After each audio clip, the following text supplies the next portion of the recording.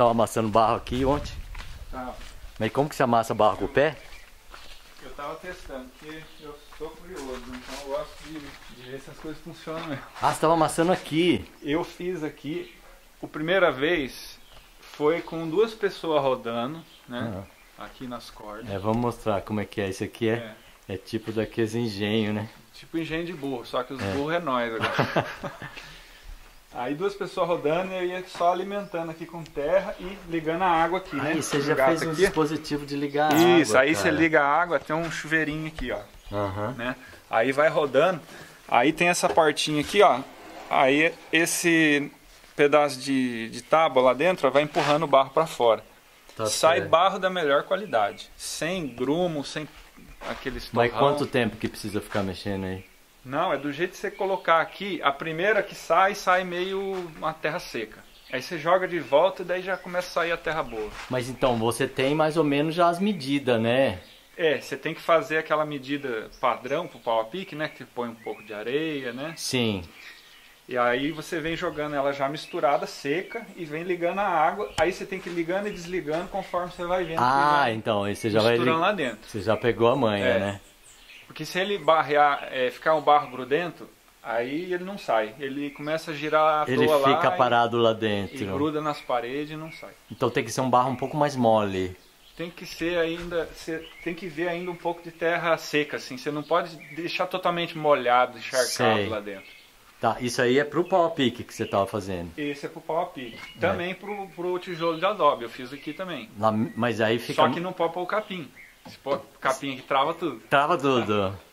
É, O capim você põe depois? põe depois. Ah. Você joga ele no, chão, numa caixa, eu fiz uma caixa de madeira ali, pus a lona, aí você joga o capim, mistura com o pé, porque Aí é o capim mistura rapidinho, né? É, O pouco. duro mesmo é você pegar a terra do barranco ali, com os torrão, vir batendo na enxada, depois pisar. Aí ele fere os pés, né? Porque assim, quando você faz um dia, barreado, mutirão, tudo bem, muita gente pisando e tal. Agora você pisar uma quantidade dessa aqui sozinho, Sozinho é bravo, né? acaba ferindo os pés. Então você É. não tem como fazer todo dia pisar o barro. Foi né? aí que você resolveu fazer isso aí. É, resolvi fazer isso aqui que eu vi o vídeo do, do Renato lá de São Bento. Ah, foi inspirado no vídeo do Foi. Renato. Só que ele faz com a moto, né? Ele faz com a ah, eu moto. não tenho moto, vou na mão mesmo. Então, você tem, você tem Instagram que mostra isso, alguma coisa ou não? Ou você tem vídeo? Tem Instagram. Meu Instagram é Bruno da Montanha. Bruno da Montanha, tudo letra minúscula e, É. e, e Bruno junto. da Montanha, Facebook também, Bruno da Montanha. Bruno da Montanha. Aí eu boto os vídeos lá. Legal, pro povo ver. E eu pego lá também pra mostrar.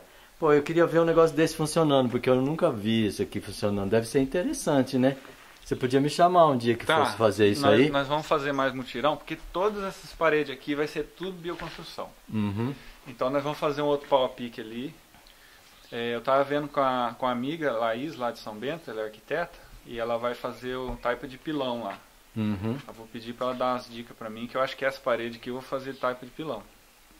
Então, me fala uma coisa, eu tô vendo que tem bloco aqui nessa construção. É. Tem. O que que aconteceu que, que uma parte é, é de convencional, de cimento, né, e ferro, e essa outra de bioconstrução. E aí Bom. você já fala quem que você é que, que- aí você já conta a história aí. Tá certo. É, eu fiz um curso, né, em 2014, mais ou menos, com essa Laís, né, lá de São Bento, que é arquiteta, de bioconstrução. Veio dois professores, o Tiago e o Emiliano, do Low Construtores. Eles já são experientes. Ensinou várias técnicas de bioconstrução. Não não foi lá no Quilombo não, né? Não, é, foi, aliás, foi no Museu de Carro de Boi. Eu acho que É, no Quilombo, foi lá. eu, sim, eu verdade. vi, eu vi as paredes lá do Aham. curso, é. Foi lá que nós fizemos. Então, é, eu sempre tive o sonho de fazer assim alguma construção. Você já conhecia. Já, né? Ah. Eu aprendi lá, tinha esse sonho de fazer.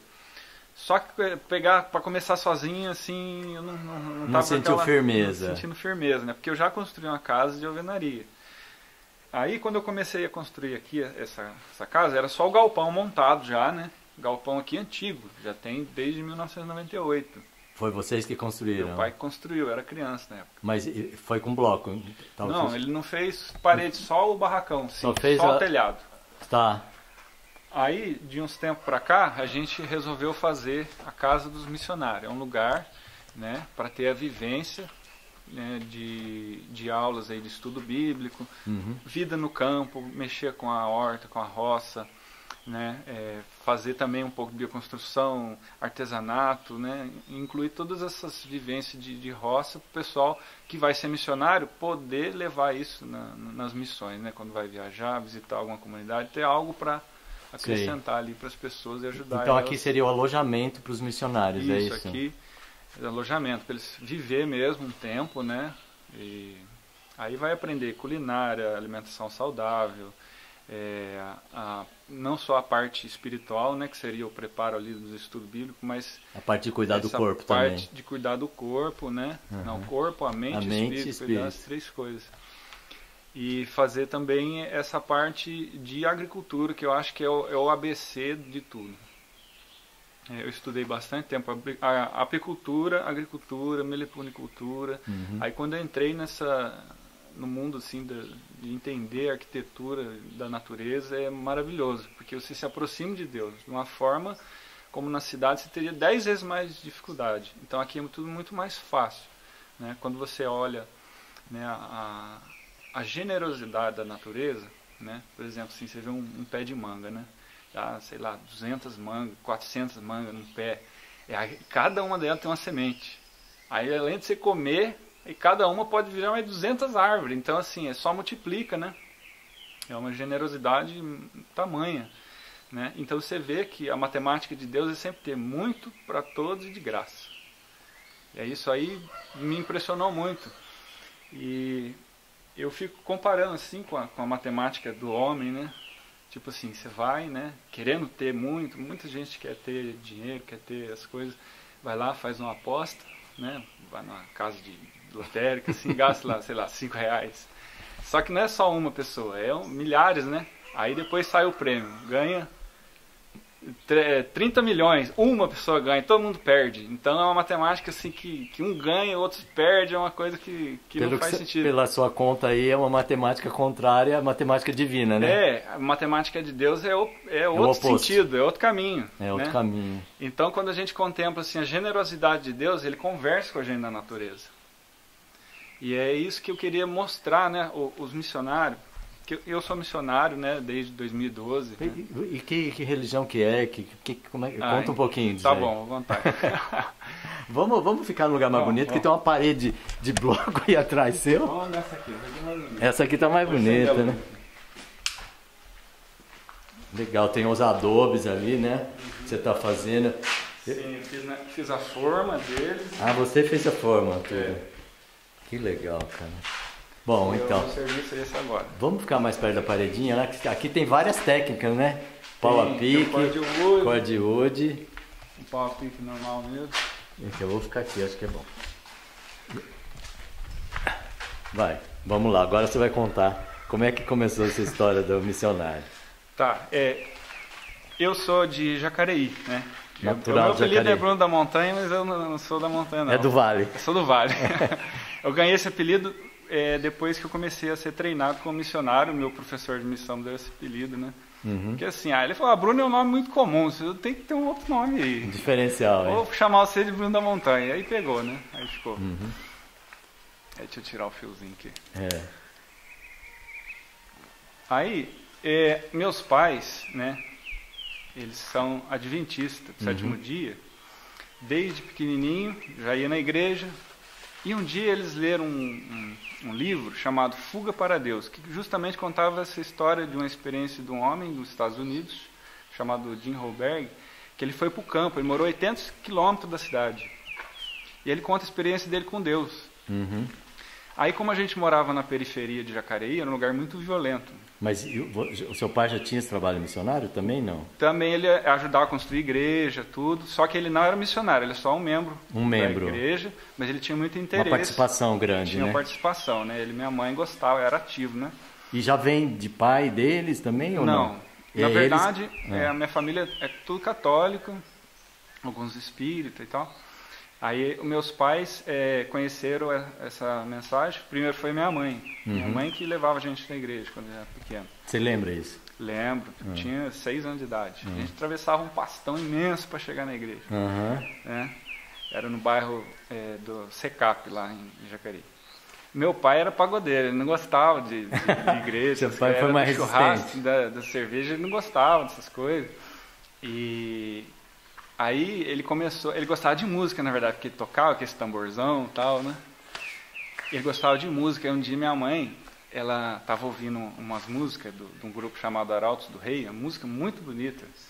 Falava assim, a tua entrega é total, você não pôde mais adiar. Aí só que minha mãe não podia ouvir perto do meu pai, Aí ela, quando ia pro banheiro, tomar banho, botava o radinho pra tocar. Aí um dia ela pegou meu pai escutando.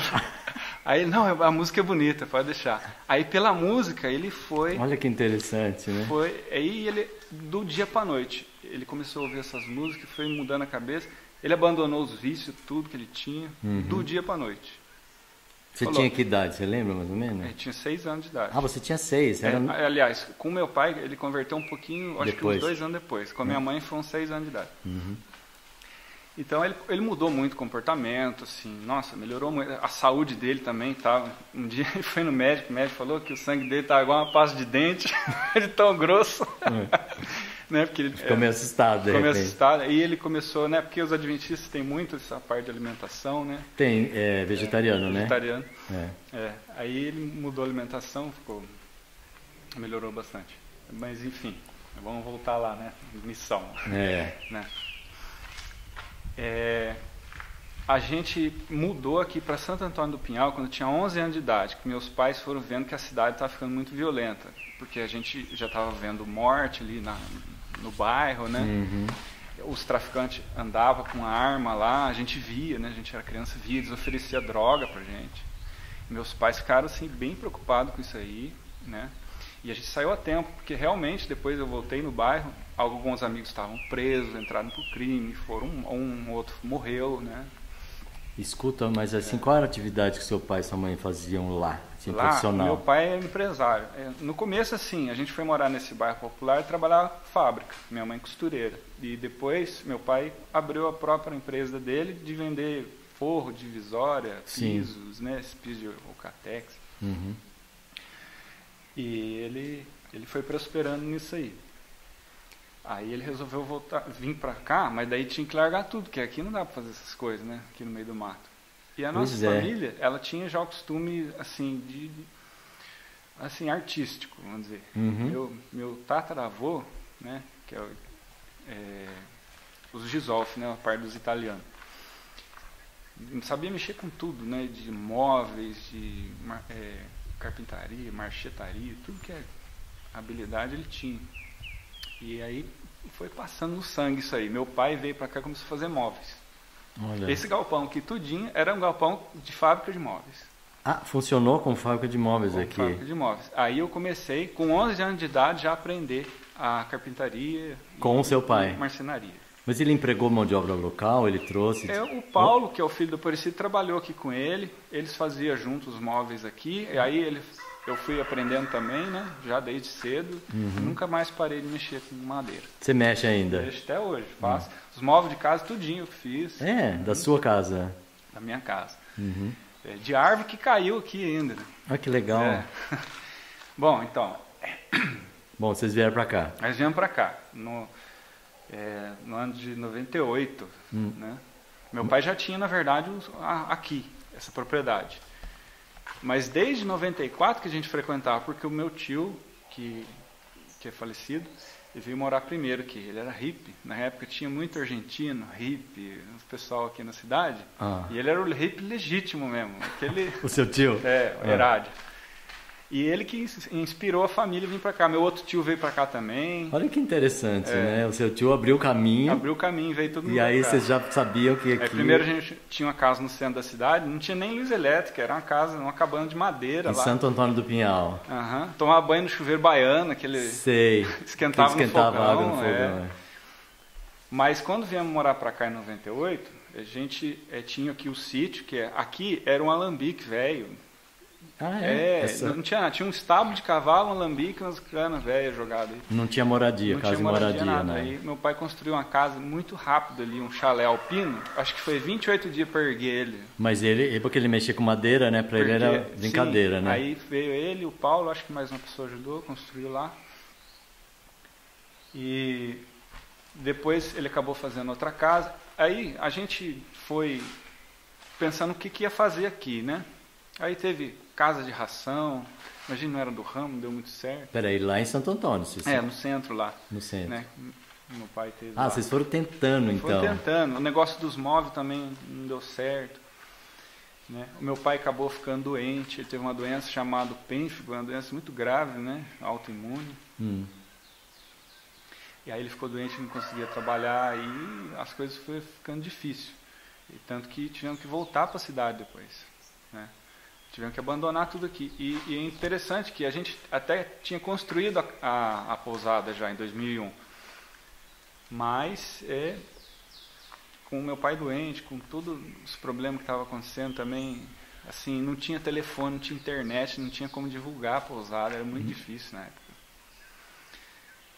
E, e os meus pais resolveram voltar para a cidade, só que a gente voltou numa situação bem complicada. Mas qual cidade? São, Santo Antônio. Jacareí. Ah, pra Jacareí. Para Jacareí? Em 2001 vocês voltaram. 2002, se eu não me engano, porque 2001 foi construída a pousada, acho que um ano, um ano e pouco depois, Tá. a gente teve que voltar para lá. Então a pousada era mais uma das atividades que vocês estavam tentando para se fixar aqui, né? Sim, a gente tentando. Porque assim, na verdade, eu acho que o, o ser humano que mora na cidade, ele, faz, ele fica emborrecido com as coisas da roça. Quando ele chega na roça, ele não sabe nada. A gente chegou aqui, assim, olha, você não sabe interagir com o ambiente, né? Você não sabe o- como sobreviver disso aqui. Então o raciocínio nosso era raciocínio de gente da cidade. Vocês queriam fazer coisas da cidade aqui, né? Isso. É. A gente não, não, não entendia assim o propósito mesmo real, né? É. Sabia que era bom, que era um lugar mais tranquilo, que não tinha violência, né? Que é o, o propósito mesmo, né? Assim, eu acho que o original de todo ser humano é viver perto da natureza. A gente entendeu muito bem isso aí, né? A família toda. Mas as dificuldades financeiras, doença, tudo ficou desesperado, meus pais, e acabou voltando. A condição que a gente voltou para Jacareí foi bem ruim, assim, porque meu pai desempregado, minha mãe desempregada, Doente ele estava ainda? doente, eu, que era 16 anos que eu tinha na época, quando a gente voltou, também não tinha emprego, minha irmã também não tinha, tinha um filho pequeno, Daniel, você vai conhecer o Daniel, hoje é um rapaz Quem não? que tinha um filho pequeno? Minha irmã, aquela a que sua irmã, aqui. aquela que estava aqui, né? É, Nicole tinha um filho pequeno, eh, era mãe solteira, a outra irmã mais nova, todo mundo foi para casa do meu avô, porque a gente já tinha vendido a casa de Jacareí, não tinha Tá. mais. Então vocês foram pra casa do vô. É, e aqui ficou largado. Hum. Ficou largado. Só um rapaz que vinha aqui, cuidava aqui, Rael, e só, só para tomar conta mesmo, para não ficar abandonado de vez, né? E fomos morar lá. Meu, meu avô era aposentado da polícia e a gente foi morar na casa dele, casa de três quartos.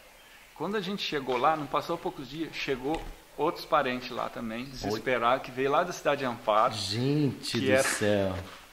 fugido lá de uns problemas que meu primo teve com um traficante lá que jurou de morte. É sei lá que do rolo italiano, da família. Das famílias Porque italianas. lá em Amparo tem muito italiano. Sim, minha família é tudo da colônia. O meu pai, é- ele é 100% só da colônia. Ele não misturou com sangue Sei. brasileiro, né? Aham. Só, só que daí, da parte da minha mãe, já é sangue misturado. Já é misturado. É, aí Chegou a outra Chegamos em- parte da família. Chegou outra parte da família lá em Jacareí, a minha tia Fátima com os dois filhos, com a namorada, com a minha eh, bisavó, né, bem idosa, a nona. E ficou 12 pessoas na casa. E Uau. ninguém tinha emprego, tava uma situação difícil demais. Só o seu avô aposentado. Só meu avô aposentado que sustentava ali o pessoal. Ficou tão pequena a casa que cada família morava num quarto. Eu, minha família inteira morava num quarto, a outra família toda no outro quarto, e, E o seu- meu avô teve que sair para dar o espaço para minha bisavó morar lá, no quarto dele. Ele foi E morar ele- na casa da namorada. O, o- seu avô foi Meu morar avô. com a namorada dele. Foi. Uau. Aí- Ô, ô, Bruno, e você, com 16 anos, Hum. vendo tudo isso, o que que passava na sua cabeça, assim? Você não pensava de... sei lá, fazer sanduíche para vender na rua. Sim, nós fizemos. Ah, fizeram também. É, não, não tinha os traquejos de venda, nada, né? Hoje em dia eu trabalho até com, com comida, assim, vendo, mas na época eu não tinha noção, né? Não. Eu fiquei frustrado, fiquei bravo, não conseguia vender direito. Tá. Mas daí eu acabei arrumando um serviço lá. Entregava marmita de bicicleta. Entregar marmita de bicicleta. É, minha irmã também arrumou serviço. Uhum. É, o meu pai, mesmo doente, conseguiu um trabalho também de vendedor. Minha mãe é professora, conseguiu o serviço de professor. Mas antes de conseguir, conseguir o serviço, a gente ficou assim, literalmente vendeu almoço para comprar janta. Uhum. No quintal da, da casa do meu avô era um galinheiro antigo, então a terra era muito boa, que meu tio plantou uns, umas mandiocas. Uhum. Aí quando chegou um dia lá que minha mãe desesperada falou, não tem dinheiro para fazer compra. Vou arrancar as mandiocas do chão. Vai lá no quintal, arranca as mandiocas. Aí eu fui lá. Mas saiu umas Você mandiocas. já tinha arrancado mandioca na vida? já, já. Porque aqui eu fazia as coisas de roça já também. Você tá com os fios na cabeça, não tá incomodando você? Tira aí também. Aí eu fui tirar as mandiocas, ah, mas saía assim, ó, parecia uma história de uns braços assim de mandioca grande. Já tava passado não? Não, tava não. Tava boa, hein? boa. É, e aí a gente começou a fazer é, tudo que é coisa de mandioca para vender, para poder comprar comida. Uhum. E tinha também a cerola que dava de um monte, fazia suco da cerola também. Ia junto com as marmitas que minha mãe fazia, vendia lá para uma academia. Sei. Que E o legal. pessoal, assim, a minha mãe ficou até com vergonha, ah, todo dia a mesma coisa. Elas, não, é gostoso, né? Um dia vem mandioca frita, assada, ou nhoque. É, nhoque de mandioca. nhoque de mandioca. Mas foi, foi desse jeito. E você estudou não? Esse tempo? Aí, não, eu estudava, normal, Estudava. colegial. Mas quando você estava aqui também, você estudava? Estudava. A gente ia no Catajeca, né? Que o ônibus que passava que ia pra cidade. Era o ônibus, É, a não, é, não tinha aquelas vans que vinha buscar aqui. Não, né? era um ônibus todo bagaçado. Uhum. Não tinha freio, às vezes a gente tinha que pular do ônibus em movimento. Ah. Ah, porque não dá pra frear. É, não tinha freio. O homem falava assim, ó, fica esperto aí na porta. esperto que- Pula porque não tem como parar. Uau, gente. Várias vezes aconteceu isso. Tinha um buraco no assoalho, dava pra ver a roda do, do ônibus, era terrível. Gente. Não tinha janela, às vezes estava na geada, eu ia chutando gelo daqui pro ponto de ônibus. Chegava lá, não tinha janela no ônibus, nós ia congelando pra escola. Caramba, isso foi outro dia aí, né? Faz 20 anos isso aí. É, foi. 20 e poucos 20 anos. anos. E lá em Jacareí, a gente começou a frequentar a igreja, né? De lá. E aí eu conheci um missionário. Esse missionário é fantástico, assim. Mas peraí, mas nisso estudei. vocês já estavam na igreja, todo mundo já estava, né? Tava, assim. Aí esse missionário que eu conheci lá, Cláudio, ele era um missionário de Aparecida. Aí estava fazendo um trabalho lá. E ele andava com os material de evangelismo, tudo num carrinho de mão. Ele vinha do bairro dele lá longe, mais de quilômetros, com o carrinho de mão, para ir na casa das pessoas, dar os estudos bíblicos. E ele ensinou para mim as profecias do livro de Daniel de Apocalipse, que são profecias assim aparentemente difíceis, mas ele ensinou de um modo didático tão simples de entender que ele, muito claro. ele levava você. slide, sabe, mostrava Sei. assim as imagens, tudo certinho. Aí aquilo, nossa, eu fiquei apaixonado com aquela forma, né, de, de entender as profecias. que Ele me mostrou de um jeito que Deus tem comando sobre o mundo. Uhum. Deus ainda tem o controle do planeta. Ele não largou a gente aqui. Hum. Aquilo me deu esperança. Nesse É, momento que sim. você precisava, né? Aham, eu falei, não, Deus está cuidando da gente. Ele, ele tem o, o- o domínio, sim. A gente não entende muitas vezes, às vezes o que está acontecendo, né? As dificuldades, mas Existe uma perfeição aí, né? existe. E daí eu perguntei para ele, como que eu faço para ser missionário? Ah, você gostou da Eu coisa. gostei. é. Ele falou, você quer aprender? Eu, vou ensinar você a dar estudos bíblicos. Hum. Vem em casa todo dia aí que eu vou te ensinar. Aí eu ia na casa dele todo dia, ele me ensinava. né? E aí ele pegou assim um guia de estudo mandou eu recortar um por um, colar na Bíblia. Eu demorei uns dois meses para fazer isso aí, pergunta por pergunta. Aí a Bíblia inteirinha ficou todinha colada com as perguntinhas que levava à próxima. Peraí, você colava onde você não entendia, você colava, é isso? Não, tinha uma guia de estudo bíblico Ah, Aí tem a pergunta, né? É, por exemplo, é, o que, acontece com os mortos? É Um exemplo. sei. Aí tava lá, resposta em tal capítulo. Ah, entendi. Tal, tal, às vezes dois, três capítulos. Aí você vai para aquele lá, aí já tem outra pergunta para ir Uhum. para adiante. Tá, é uma Aí eu- sequência. Uma sequência. Daí eu fazia isso aí. Só que o que aconteceu? Com 16 anos de idade, né, eu aprendi, eu comecei realmente a dar estudos bíblicos, participar de um grupo lá que tocava violão na, nas comunidades lá de Jacareí, e, e, era muito legal, era um, era um pessoal bem animado. E com, com 16 anos, até os 19 anos que eu morei lá na cidade, meus tios que trabalhavam lá nas empresas grandes, né, GM, é, Embraer, falava para mim, você tem que ter futuro, tem que estudar, faz um Senai aí pelo menos. Para garantir, né? Aí eu fui no conselho deles e fiz o Senai. Aí eu tentei passar na, na nos, é, nas provas, né? Entrei é, na, nas empresas fazer as provas, entrevista e não passei em nenhuma. Não. Não. Mas eu consegui depois um, um serviço terceirizado de fazer vidro blindado dentro das fábricas. É vidro isolante acústico. Sei. Aí eu comecei a, a colocar vidro numa fábrica de torneira. Eu entrei, a, a fábrica tinha um fedor de óxido metálico. Hum. Nossa, era um cheiro insuportável. Aí eu fiquei num setor que tinha lá um, um senhor que aparentemente estava até aposentado, né, pela idade assim. Mas ele continuava ali trabalhando com as torneiras. Era a fábrica de, de torneira, então vinha assim as torneiras para ele de um lado, um, um, caixote, um carrinho. Aí ele testava a torneira, botava a torneira do lado, pegava a torneira, testava a torneira, botava do outro lado. E eu lá trabalhando lá no, no setor da, que a gente estava construindo os vidros acústicos. Você estava instalando lá, eu né? Eu estava instalando. E eu fiquei olhando aquele senhor lá. Falei, puxa vida, eu estou estudando para isso aí. Para ser torneiro mecânico, né? Que é a usinagem que eu fiz. Para ficar num ambiente eu desse. falei, eu não vou alugar meus braços, não. Uhum. Aí eu lembrei o conselho de um amigo meu, Tarcisinho. Um amigo que falou assim para mim: Olha, um dia que você estiver infeliz, lembra do último lugar que você foi feliz e volta para lá. que legal. Aí eu, eu cheguei para minha família, eu falei: Olha, é o seguinte, eu não consigo mais morar aqui. E o meu negócio é na roça.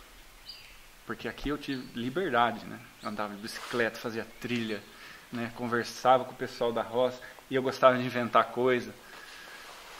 E lá não podia fazer nada. Eu estava preso, né? Igual um esquilo na gaiola, você imagina? Esquilo na gaiola. É. E aí eu cheguei para minha família e falei, eu vou voltar lá para o sítio. Sozinho? Sozinho, sozinho. Aí meus familiares ficou preocupado, né? Claro, né? O que, que você vai fazer lá? Vai trabalhar de quê? Lá é difícil e tal. Eu vou e vou levar o Tico junto no cachorro, uhum. que está em depressão, o cachorro era caçador, e está aqui, só fica deitado na depressão, vou levar ele de volta também. Aí veio eu e o cachorro. Peraí, você tinha quantos anos? 19. Ah, 19, já podia vir. Então. Sim, com 19 anos eu vim embora. É. E cheguei aqui, arrumei um serviço de fazer vela artesanal. Vela artesanal. É, Mas o é, que, é, que era uma microempresa? É, porque assim, meu cunhado trabalhava com isso e ele meio que terceirizou para mim. Ah, entendi. Falou, ah, vou deixar para você os equipamentos, aí você vai produzindo, você faz, toda semana vende. eu venho pegar, ele vendia lá em Aparecida. Ah, Era vela de canela, sei. enfeite, enfeite né, assim, Tá. mais, mais decorativa mesmo, Uhum. né? Era formato de rosa, de, enfim. E aí eu comecei a fazer a, as velas e fui prosperando, né? A família até achou que não, fez uma boa escolha. Ah. Consegui comprar um carrinho velho. Nossa, tudo fazendo as velas que fazendo ele vela. vendia. Sim. Olha só. Mas peraí, ele te trazia matéria-prima aqui? Por exemplo, Trazia, trazia as parafinas. Ele trazia tudo. Sim, ele comprava os, os sacolas de parafina, às vezes vinha em barra, aí eu derretia, Uhum. botava corante, botava o cheiro, Moldava, aí botava nas formas. botava nas formas. E- É. E, quem que embalava era ele também. Não, eu mesmo. Você mesmo, embalava É, tudo. Ele só vinha pronto, pegava pronto. Que legal. Que dia que é o seu aniversário? 19 de maio. 19 de maio. É. Você é taurino, então. Aham. É. Aí, o que aconteceu? Esse tempo eu fiquei assim meio, vamos dizer, disperso com algumas coisas. Parte espiritual assim, Não ia na igreja, porque aqui não é, tinha. Não, não ia muito. De vez em quando eu ia. E eu sentia meio solitário. Às vezes eu ia para a cidade, na casa dos primos. Uhum. Só comecei a ir para as bebedeiras. Você estava morando na casa de, de, de tábua casa, que o pai na, fez? Não, na casa aqui de tiolo mesmo, ah, meu pai tá. fez. E aí comecei a sair para as bagunças, vamos dizer. Né? E aprontava para a cidade. E estava arrumando um caminho que não estava muito legal. Ah. E nessa época a gente não raciocina muito bem. Mas você pensava sobre isso na, na época ou teve que acontecer alguma coisa para você é, se dar conta? Sim. teve, né? Teve. É. E aí eu tomava as pingas lá e às vezes ia embora carregado. As turmas já escondiam minhas garrafas, pra, porque eu ah, dava trabalho com os amigos. Ixi. Tava desse nível. Aqueles beldos chato, né? Uhum. e daí, o que aconteceu? Eu arrumei uma namorada. Olha a condição que eu tava. Eu tava num rodeio tomando umas pingas, tinha tomado umas 20 bambu com, com pinga, com mel. Tava caindo na lama, assim, ó, tava chovendo. Os amigos dando risada, né? Dando risada. Aí veio uma pessoa, me pegou, levou para casa, né? Uma moça. Botou eu no sofá lá, ó, dorme aí, que você tá muito ruim, né? Com a condição sua. Aí eu comecei a namorar com essa moça. Aí eu acabei engravidando a moça, eu tinha 20, 22 anos na época já. Ela era mais nova que eu, eu tinha uns 19. Aí tive o um filho, né? O Benício, está com 13 anos, menino bonito. Ele tá aí com você? Não. Não, ele mora com a mãe dele. Mora com a mãe. O lourão alto, tá quase do meu tamanho. Né? A mãe dele é mestiça japonesa, então imagina, é uma mistura boa de raça Nossa. ali. Ele tem olho puxado, japonês, louro. Cabelo claro. É. E aí a gente não ficou junto, né? não tinha assim muita combinância de ideia. E, e nessa época eu pensei o seguinte: quando ela estava grávida, né, que a gente rompeu, Falei, eu preciso criar um menino e eu não posso ser um pai bêbado. Porque eu, eu tenho muito problema de alcoolismo na família toda. Ah. Né? Muito, então muito... você não quis repetir não. a história. Falei, não, eu não quero isso para mim. Aí eu, eu nunca deixei de ter a Bíblia do lado da cama. Mesmo quando eu bebia, uhum. de manhã eu acordava e eu lia a Bíblia. Aí eu li uma vez no livro de Provérbios assim, ó. É, não olhe para o vinho quando escoa suave pelo copo, ao passo que se tornará como uma cobra e te morderá como um basilisco. Hum. E os teus olhos verão coisas estranhas. Serás como que alguém está no alto de um mastro. Né? E quando despertar, direi: é, tornarei a beber novamente. Aí diz lá: quem erra nessas coisas não é sábio. Eu li 25 vezes o livro de Provérbios inteiro e falei assim no final: eu sou o tolo. Você demorou para cair demorei, a ficha? Demorei, demorei é. para cair a ficha. Eu nunca deixei nem de fazer oração. Mesmo quando chegava embriagado, eu só falava uma coisa: Senhor, obrigado que o Senhor protegeu minha vida. Ah, é? É, mesmo bêbado. Interessante isso, né? Uhum. Os caminhos, né, que a gente percorre, né? É, porque eu dirigia bêbado. Nossa. Fazia, aprontava, entendeu? Então, a chance de eu morrer bêbado era, era grande. Alta, né? Era. Então, eu só agradecia a Deus. E aí eu fui cheguei nessa conclusão. Só que eu não conseguia parar de beber. E os amigos vinham na sexta-feira chamar e eu ia. Falava assim, não vou beber, não vou beber. Sexta-feira chamava, eu ia. Sim. Aí eu li um livro chamado No Deserto da Tentação. Um livro que falava como que Jesus venceu Satanás no deserto. Aí, o primeiro tentação que Jesus teve foi com relação ao apetite. Né? Porque ofereceu pão. Né? Satanás ofereceu o pão para Jesus, que ele estava em, em jejum. E por que, que Jesus estava em jejum? Ele estava ganhando força espiritual. Aí uhum. eu falei, eu, eu, acho que eu vou fazer jejum. Olha. Vou ver se funciona. Aí no, no dia da sexta-feira. Vou ver se funciona. No dia de sexta-feira, eu ficava o dia inteirinho, 24 horas sem comer. Nossa, se você botasse um álcool ali. Puf. aí os amigos vinham chamar, eu falei, não, eu tô de, de boa, tô com Deus, não vou sair. Mas aí você já estava começando a ficar mais espiritualizado? Totalmente. É. Né? Aí não bebia, claro, ficava bem. Meu filho nasceu, comecei a criar ele bem, né? Trabalhando. Vocês moravam junto? Não. Com a esposa? Não. Eu nunca morei com ela. Nunca? Só fui namorado. É. E eu morava sozinho aqui mesmo. Mas aí eu ia visitar ele lá, né? E estava sendo um pai presente. Uhum. Fazendo a minha, minha parte. Até hoje, né? Estou sempre com ele. E eu resolvi me converter de vez, assim, vamos dizer. Falei, não, agora eu, eu preciso andar certo. Preciso andar certo com Deus. Só que daí eu fiquei doente. Por quê? Com a separação que eu tive da namorada, né?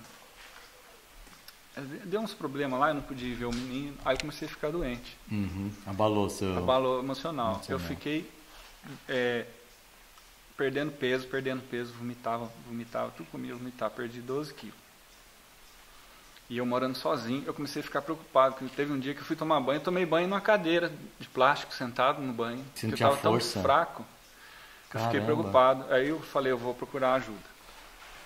Porque vai que eu tenho um troço aqui sozinho. É. Aí eu fui, novo, né? É, novo, tinha 23 para 24 anos. Fui para Jacareí, na casa dos meus pais. Na época, meus pais eles tinham construído uma casinha, eles estavam zerados de grana, tava, assim, a parte financeira estava meio, meio baqueada. Né? Cheguei para meus pais e falei, olha, eu estou doente, não sei o que eu tenho, preciso de ajuda. Aí eles falaram, olha, vamos, vamos no, no médico. Aí fui no SUS mesmo, aí para fazer endoscopia. Três meses para fazer endoscopia. Em três meses eu estou morto já. É. vamos ver no particular. Aí no particular era, era coisa de 150, 200 reais. Falei, eu não tenho, só tenho 50 reais no bolso. Aí minha mãe falou, olha meu filho, se eu tivesse eu já te dava agora. Mas não tem, nem eu, nem seu pai, nós estamos zerado, zerado mesmo. Mas se pudesse, nós dava um jeito. Mas está na mão de Deus. Aí eu fiquei pensando, e agora, o que eu faço? Mas vende o carro. Na época eu já não tinha carro. Ah, já, não... já tinha vendido o carro. Eu estava tava de apés. De apés. É. Aí eu fiquei pensando, o que, que eu vou fazer? Comecei a ficar triste, desesperado. Falei, não, vou botar na mão de Deus. Vou me distrair. Vou, vou na casa de um amigo, vou conversar. Mas você foi, estava em Jacareí, tava morando em Jacareí. lá já, que ah, aqui você não podia ficar sozinho, Não, né? não dava. Aí eu fui com meu cunhado na casa de um vizinho, Queria trocar uma ideia lá, distrair, um amigo meu, Dorival. Cheguei lá na casa do Dorival, fui bater palma lá na porta. Aí ele não saiu. Daqui a pouco chega um homem, assim, do meu lado, com uma sacola pedindo as coisas, pedindo alimento. Uhum. Ele falou: oh, Meu nome é Jorge e eu tô com câncer no cérebro. Ele falou: Eu sou trabalhador. Eu olhei na mão dele, mão de pedreiro, sabe que é a mão grossa? Sim é, e estava com documentos, coisas na mão. Ele queria mostrar. Não, não mostra nada, acredito, você fala, pode, pode falar. Hum. Falou, então, eu saí hoje porque eu estou desesperado. Eu nunca pedi nada na rua, mas eu não tinha o leite da minha menina hoje. Aí eu tinha um dinheiro no bolso, eu dei o dinheiro para ele. Eu falei, compra o leite dessa menina. Aí começou a chorar. Começou a chorar assim, ficou agradecido. Né? Eu abracei ele, ele estava muito emocionado. Ele falou, é o leite da minha menina hoje. Porque ele ganhou macarrão, ganhou outras coisas, mas não era o leite. Aí eu falei para ele, não, o senhor não vai desaparar, você não. Falei, tranquilo. Aí ele apontou para mim, assim, deu um sorriso, sorriso bem bonito. Ele apontou para mim e falou assim, ó, que o Deus lá do céu envie todas as bênçãos para você hoje. Falei, obrigado pela benção. Aí tomou o rumo dele.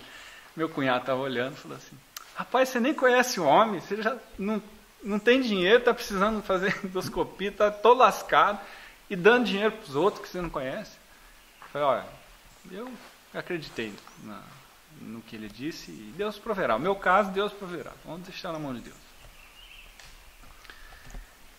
Aí a possibilidade de fazer a endoscopia diminuiu, porque agora que eu estava sem dinheiro, né? Yeah. É. Aí eu voltei para casa da minha mãe a minha mãe estava meio pálida, assim, meio estranha. Filho, vem cá. Eu fiquei preocupado. Chamou num canto. Entregou as notas. Sabe quando sai do banco, assim, novinha, entregou na minha mão, 226 reais. Ela falou assim, ó, não é meu, não é do seu pai, não é de ninguém da família, porque ninguém aqui sabe, né? Só eu e seu pai. Veio um homem aqui na porta, entregou esse dinheiro na minha mão, falou, entregue para o servo de Deus, Bruno para a necessidade dele hoje. E falou assim: não precisa saber quem é. E foi embora. Eu fui para o quarto. Falei com Deus: Senhor, deu tão pouco, ganhei tão muito. o que, que o Senhor quer fazer comigo? Me mostra.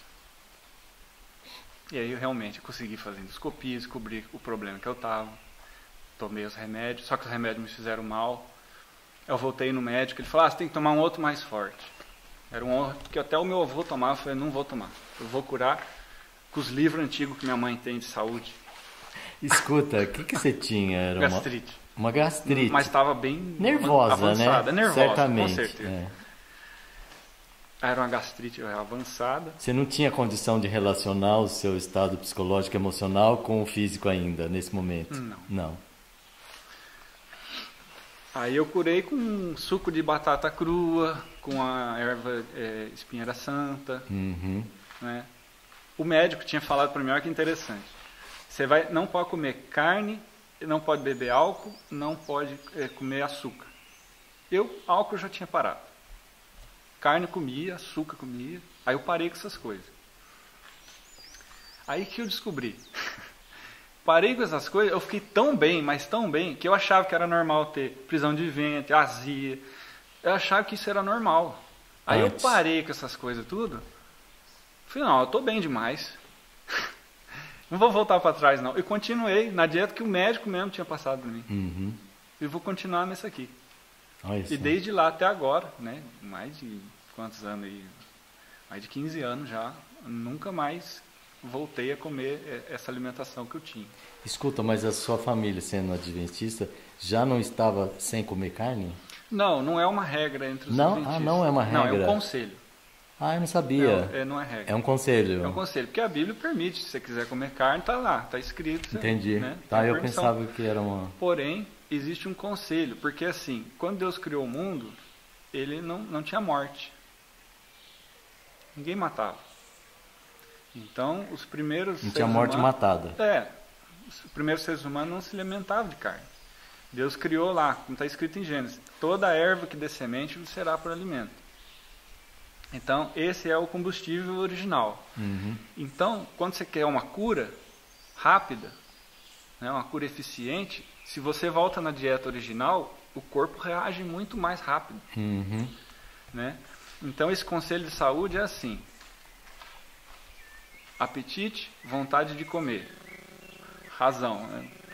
é a comida que, que Deus propôs. Aí a gente fica assim meio brigando entre uma coisa e outra, mas quando você está doente e você se recupera, você dá muito valor naquilo ali. Então eu dei muito valor nessa alimentação e continuo com ela. Já orientei várias pessoas que estavam doentes também e curaram bem assim. Mas é, continuando, Os taurinos que eu conheço é bem desse jeito, né? Começa uma história e vai te puxando. ah, eu, eu falo mesmo de tudo. Não, mas eu tô achando interessante, senão eu já tinha desviado o assunto. Não, né? tá bom. Então tá bom. Eu comecei daí a andar com o pessoal de, de grupo de igreja e tal, que era ativo, né? Nessa coisa de, de, de missão, de, de fazer visita, de, de ensinar. E eu falei, nossa, é, é o que eu queria já desde o passado, né? Eu acho que eu vou procurar esse caminho. À medida que você foi se recuperando a saúde, você foi Sim. se aproximando desse povo, é isso? Fui aproximando deles. É. E eu falei, não, eu vou, vou andar com esse povo aí, porque o povo que eu tava andando era meio bagunçado. E assim, você tinha, por exemplo, quando bebia, era 30 amigos. 30? É. Não sobrou dois. Depois que eu parei de beber. E os dois, um era parente. Não parei. né? Era o meu primo e o Samuel, que é um amigo. Sobrou dois. O resto, eles são seu amigo. Eles, eles pagam a pinga pra você, mas não pagam uma comida, um leite, um, um pão. Entendeu? É desse jeito. E aí, o meu filho pequeno, aí eu voltei a ver eles é, com mais frequência. Aí eu fiquei mais feliz, né? recuperei a saúde. E comecei a ter uma amizade com um rapaz que ia sempre em São Paulo, que ele trabalhava na igreja lá do, do Valdomiro. E eu tinha curiosidade, né? Porque a gente vê na televisão aquele monte de milagre, aquelas coisas. Eu quero ver pessoalmente isso aí. Aí você foi. Aí eu fui. Quando eu cheguei lá, eu conheci umas sete igrejas mais ou menos no Braz ali, porque tem muita igreja ali. Eu quero ver se o povo vai na, na cobiça ou se eles vão porque estão precisando mesmo. Eu, eu vi de tudo. Eu vi gente que foi com a fé pura mesmo, uma fé de querer uma cura, de querer uma solução para a vida. Pessoa que estava ali na, na Cracolândia. Mas vi gente com cobiça também. O cara chegava com a carteira lá, unge a minha carteira. Né? O cara Sim. foi interessado mais na parte financeira. É, fiquei ali só sondando, olhando. E realmente, quando eu cheguei, eram umas 4 mil pessoas na, no culto lá. O silêncio, organização, muito bem organizado. Isso é do Valdomiro? Do Valdomiro. Aí o que aconteceu? Quando chega uma hora que eles falam assim, tem a hora para as coisas lá. Né? Aí eles levantam as placas, né? Tipo, ah, tem um testemunho aqui, né? Aí o pessoal vai lá e conta e tal. E aí tem os momentos lá do exorcismo, uhum. aí eu ficava vendo o povo se saculejando na minha frente. Eu não sei, eu achei aquilo estranho. Para uhum. mim foi estranho. É um negócio meio programado. E eu vi um, um, um caso de uma moça que ela estava na Cracolândia, ela se converteu lá e ela estava muito agradecida, porque ela estava limpa, né? Estava limpa. Aí o Valdomiro enxugou a toalhinha, jogou para ela, aí ela pegou aquilo, nossa, ficou com aquela coisa assim. Que, meu Deus do céu. Aí eu fui passando nas igrejas. Igreja do, do Agenor Duque, do, dos missionários, tudo que tem lá né, esses neopentecostal, na, na Universal, passei em cada uma delas. O que, que você estava buscando? Alguma coisa mais rápida? Coisa do milagre? Não. O que, que era? Eu queria uma resposta que, que eu estava perguntando para Deus. Porque eu não via aquilo como um evangelho verdadeiro. Eu achava que aquilo era compra. Entendi. Eu estava comprando as pessoas pelo evangelho. Uhum. Mas eu ouvi testemunho muito bonito também de um rapaz que que ele chegou na porta da igreja, que ele era ancião, ficava na porta da igreja, veio um cara armado, queria matar uma pessoa dentro da igreja, estava doido. E ele falou, aqui você não entra, em nome de Jesus você não entra. E ele abriu os braços, o cara meteu bala nele, a bala não perfurou ele. E ele contou para mim, assim, ó, olho no olho. Eu ficava sondando para ver se a pessoa, será que é verdade, não é? E esse rapaz ele contou com uma emoção real, uhum. algo real. Então eu vi, eu vi as duas coisas ali. Sei. E eu queria discernir o que estava acontecendo lá em cima, no púlpito. Uhum. Era, era onde eu queria discernir. O investigador. É. Porque eu queria ser, assim, uma pessoa que ia ajudar os outros. Então eu Entendi, queria tá. entender tá. tudo. Não era, eu não queria me fechar na bolha da minha igreja. Uhum. Né? Tá. Até porque né, nessa época eu já nem estava frequentando a minha igreja. Eu estava independente, assim. Eu estava, assim, eu não, não deixei a doutrina da igreja nada. Mas eu estava, assim, procurando é, uma coisa, assim, mais ampla. Hum. Entender o ser humano, né? Não, não queria... Tá. Ficar preso a algum dogma, alguma... Ficar naquela matemática da... Não, se for assim, é assado, tá. Então eu queria conhecer as pessoas. Por essa você. É a realidade. É, queria conhecer as pessoas. Interessante, hein? Quando eu cheguei na, na última igreja, eu, eu varei a noite, eu não tinha onde dormir. Eu fiquei lá, eu tinha uma mochila com. E isso era uma coisa que eu ia te perguntar, você ficou com algum parente, né? Não, eu cheguei lá no Braz de, de metrô e fiquei lá até o outro dia, direto. Hum. Varei a noite na vigília. De igreja em igreja. De igreja em eu, igreja. Eu passei a vigília naquela igreja grandona, colorida lá do, do Deus é Amor. Hum. E de manhã eu passei na Universal e passei depois na última então do, você não dormiu? Do, não, não dormi. Passei na do Agenor Duque. Aí tinha lá umas portas, umas coisas que a pessoa passava dentro, e, e o pastor falando um monte de coisa lá. Eu falei, não estou interessado em nada que esse homem está falando. Para mim isso aí não está fazendo sentido, não. Estava prestando atenção nas pessoas. Mãe com o filho no colo, agarrado com o nenê, chorando, você cantando. Você ficava só ligado no pastor, você olhava as pessoas é, que estavam. A mãe chorando, querendo entregar a alma para Deus, querendo assim adorar a Deus de verdade.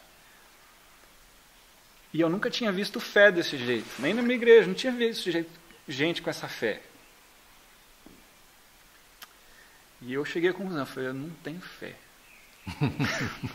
eu acho que eu não tenho fé. Quando você viu a fé de verdade, você é. falou, opa, a minha não é, né? Eu ouvi tanto testemunho, tanta história aqui, e esse povo tem uma sede de adorar a Deus tão grande, né? Claro que tem os que não, mas tem os que tem muita é. sede. Eu falei, eu, eu, quero entender isso. Eu comecei a chorar. Falei, Deus, me dá uma resposta, eu vou dar um golpe de fé agora. Golpe de dá fé. um golpe de fé. Eu estava com a minha mochila, é. e na minha mochila uma, tinha a Bíblia e tinha a bússola. E um, bússola? Bússola. Um chaveiro. Ah, mochila. tá, um chaveiro. É. À toa, né? Porque é. eu gostava de trilha, Não, então sempre que... tinha uma bússola ah, ali. você gostava de trilha. É. Aí eu fiz uma oração, joelho ali. Falei, Senhor Deus, me responde o que está acontecendo, por que, que essas pessoas têm tanta fé e parece que esses pastores estão enganando, comprando a, a, fé das pessoas. O que está acontecendo? Me mostra uma resposta. Eu vou abrir a Bíblia de olho fechado. E onde eu colocar o dedo, o Senhor vai me responder. Com olho fechado. Aí eu abri a Bíblia de olho fechado, coloquei o dedo. Aí caiu lá em Jeremias, dizia assim: Vem do norte o mal. Vem do norte o mal. Mas que resposta é essa, meu Deus? Aí eu olhei do meu lado, a minha bússola, apontando para o norte, no púlpito. Uau! Eu fiquei assim, meu Deus do céu. Obrigado pela resposta. Eu precisava disso. Daquele dia em Você diante. entendeu na hora? Entendi. Eu nunca olhei mais uma pessoa como um número. Nunca mais. Eu comecei a, a ter interesse na alma da pessoa o que, que faz essa pessoa, o que motiva essa pessoa a fazer o que ela faz. Então comecei a, a ter interesse pelo ser humano. Desse dia em diante eu me tornei missionário. Não porque eu estava treinado, Sim, mas porque o meu coração um era interno. É, é, era assim, o Espírito de Deus me tocou ali na hora. Que bonita a história. para ser missionário. Quando você me convidou para vir aqui, eu não sabia que, que a gente ia. Mas aquela coisa, a intuição falou, vai, Vai porque tem a bioconstrução, uhum. vai porque eu senti que as suas palavras eram umas palavras bonitas, né? A gente vê pelo jeito da pessoa escrever, alguma coisa passa, né? E Sim. aí você está me contando essa história. Você viu que eu não te interrompi, eu estou deixando você contar, né? Quer dizer que eu estou gostando. Então, é, eu, eu rompi com julgamentos, então eu comecei a, a prestar mais atenção é, nessa parte de comportamento. Hum. Porque até então a gente aprende muito na igreja a parte doutrinária. Pode isso, não pode aquilo tal. Mas a parte de comportamento, assim, do amor, aquela de compartilhar coisas com os outros, de você tirar o seu tempo para doar para a pessoa, era isso que eu estava querendo. E você não sabia Não sabia isso. por onde começar, na é. verdade. Aí eu fui procurar um missionário que eu conhecia. Não esse Cláudio, esse Cláudio já tinha perdido no tempo, né? Assim, não Aquele sei onde foi parar. Trás, né? é, eu queria que fosse ele, mas uhum. eu não sabia onde ele estava. Na época não tinha zap, nada dessas coisas. Aí eu, eu conheci um, um, missionário que até veio aqui em casa e passou uma mensagem para a gente. Aqui, da Adventista mesmo. Da Adventista. Só que na época a gente é, questionou uma, umas partes doutrinárias que a, a igreja adventista, como todas as igrejas, elas vêm com o tempo modificando. Se adaptam aos novos tempos, Vão, né? É, progressista, não sei, é, eu acho que é essa a palavra. Aí elas vão se adaptando. Aí a gente descobriu, através desse outro missionário, que é por causa de um, do ecumenismo. Né? Eles têm regras né? no ecumenismo e as, pessoas, as igrejas têm que se adaptar, senão elas são consideradas seita. Ah, é? É. Então tem umas regras no ecumenismo. Hum. Então para fazer parte do ecumenismo as igrejas se adaptaram, algumas delas, mais famosas, maiores, né? Então a nossa igreja passou por esse processo nos anos 80, né, que foi firmado, e a gente ficou sabendo disso, pegou esses documentos, mostrou para o pastor, aí foi assim, uma encrenca. É, porque os conservadores não querem mudar. Na, né? na verdade, a gente estava sendo conservador, porque a gente queria manter a doutrina antiga. Ah, vocês, você fazia parte de conservadores? Sim, do jeito que era. Hum. E não aceitamos as modificações né, que foi acontecendo. E isso é normal.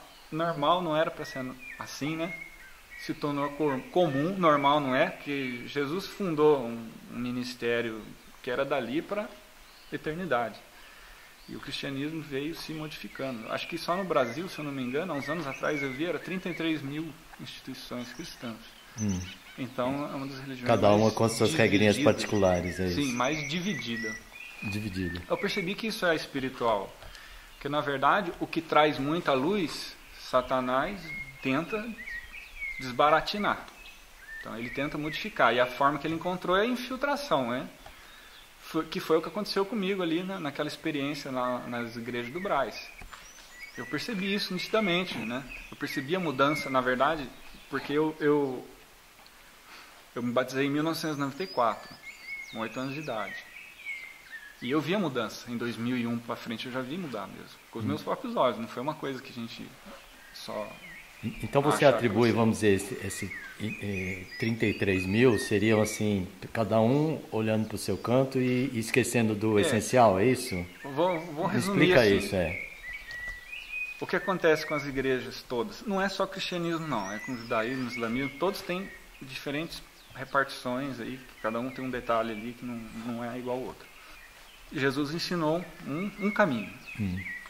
Só que alguns quer radicalizar, quer ir para a direita demais, quer radicalizar muito, quer, tipo assim, fazer regras rígidas. E outros quer apartar das regras rígidas e fazer um negócio mais flexível, liberal, flexível. É. Então, é mais por causa dessa natureza humana esquerda, direita, dois hemisférios no cérebro, hum.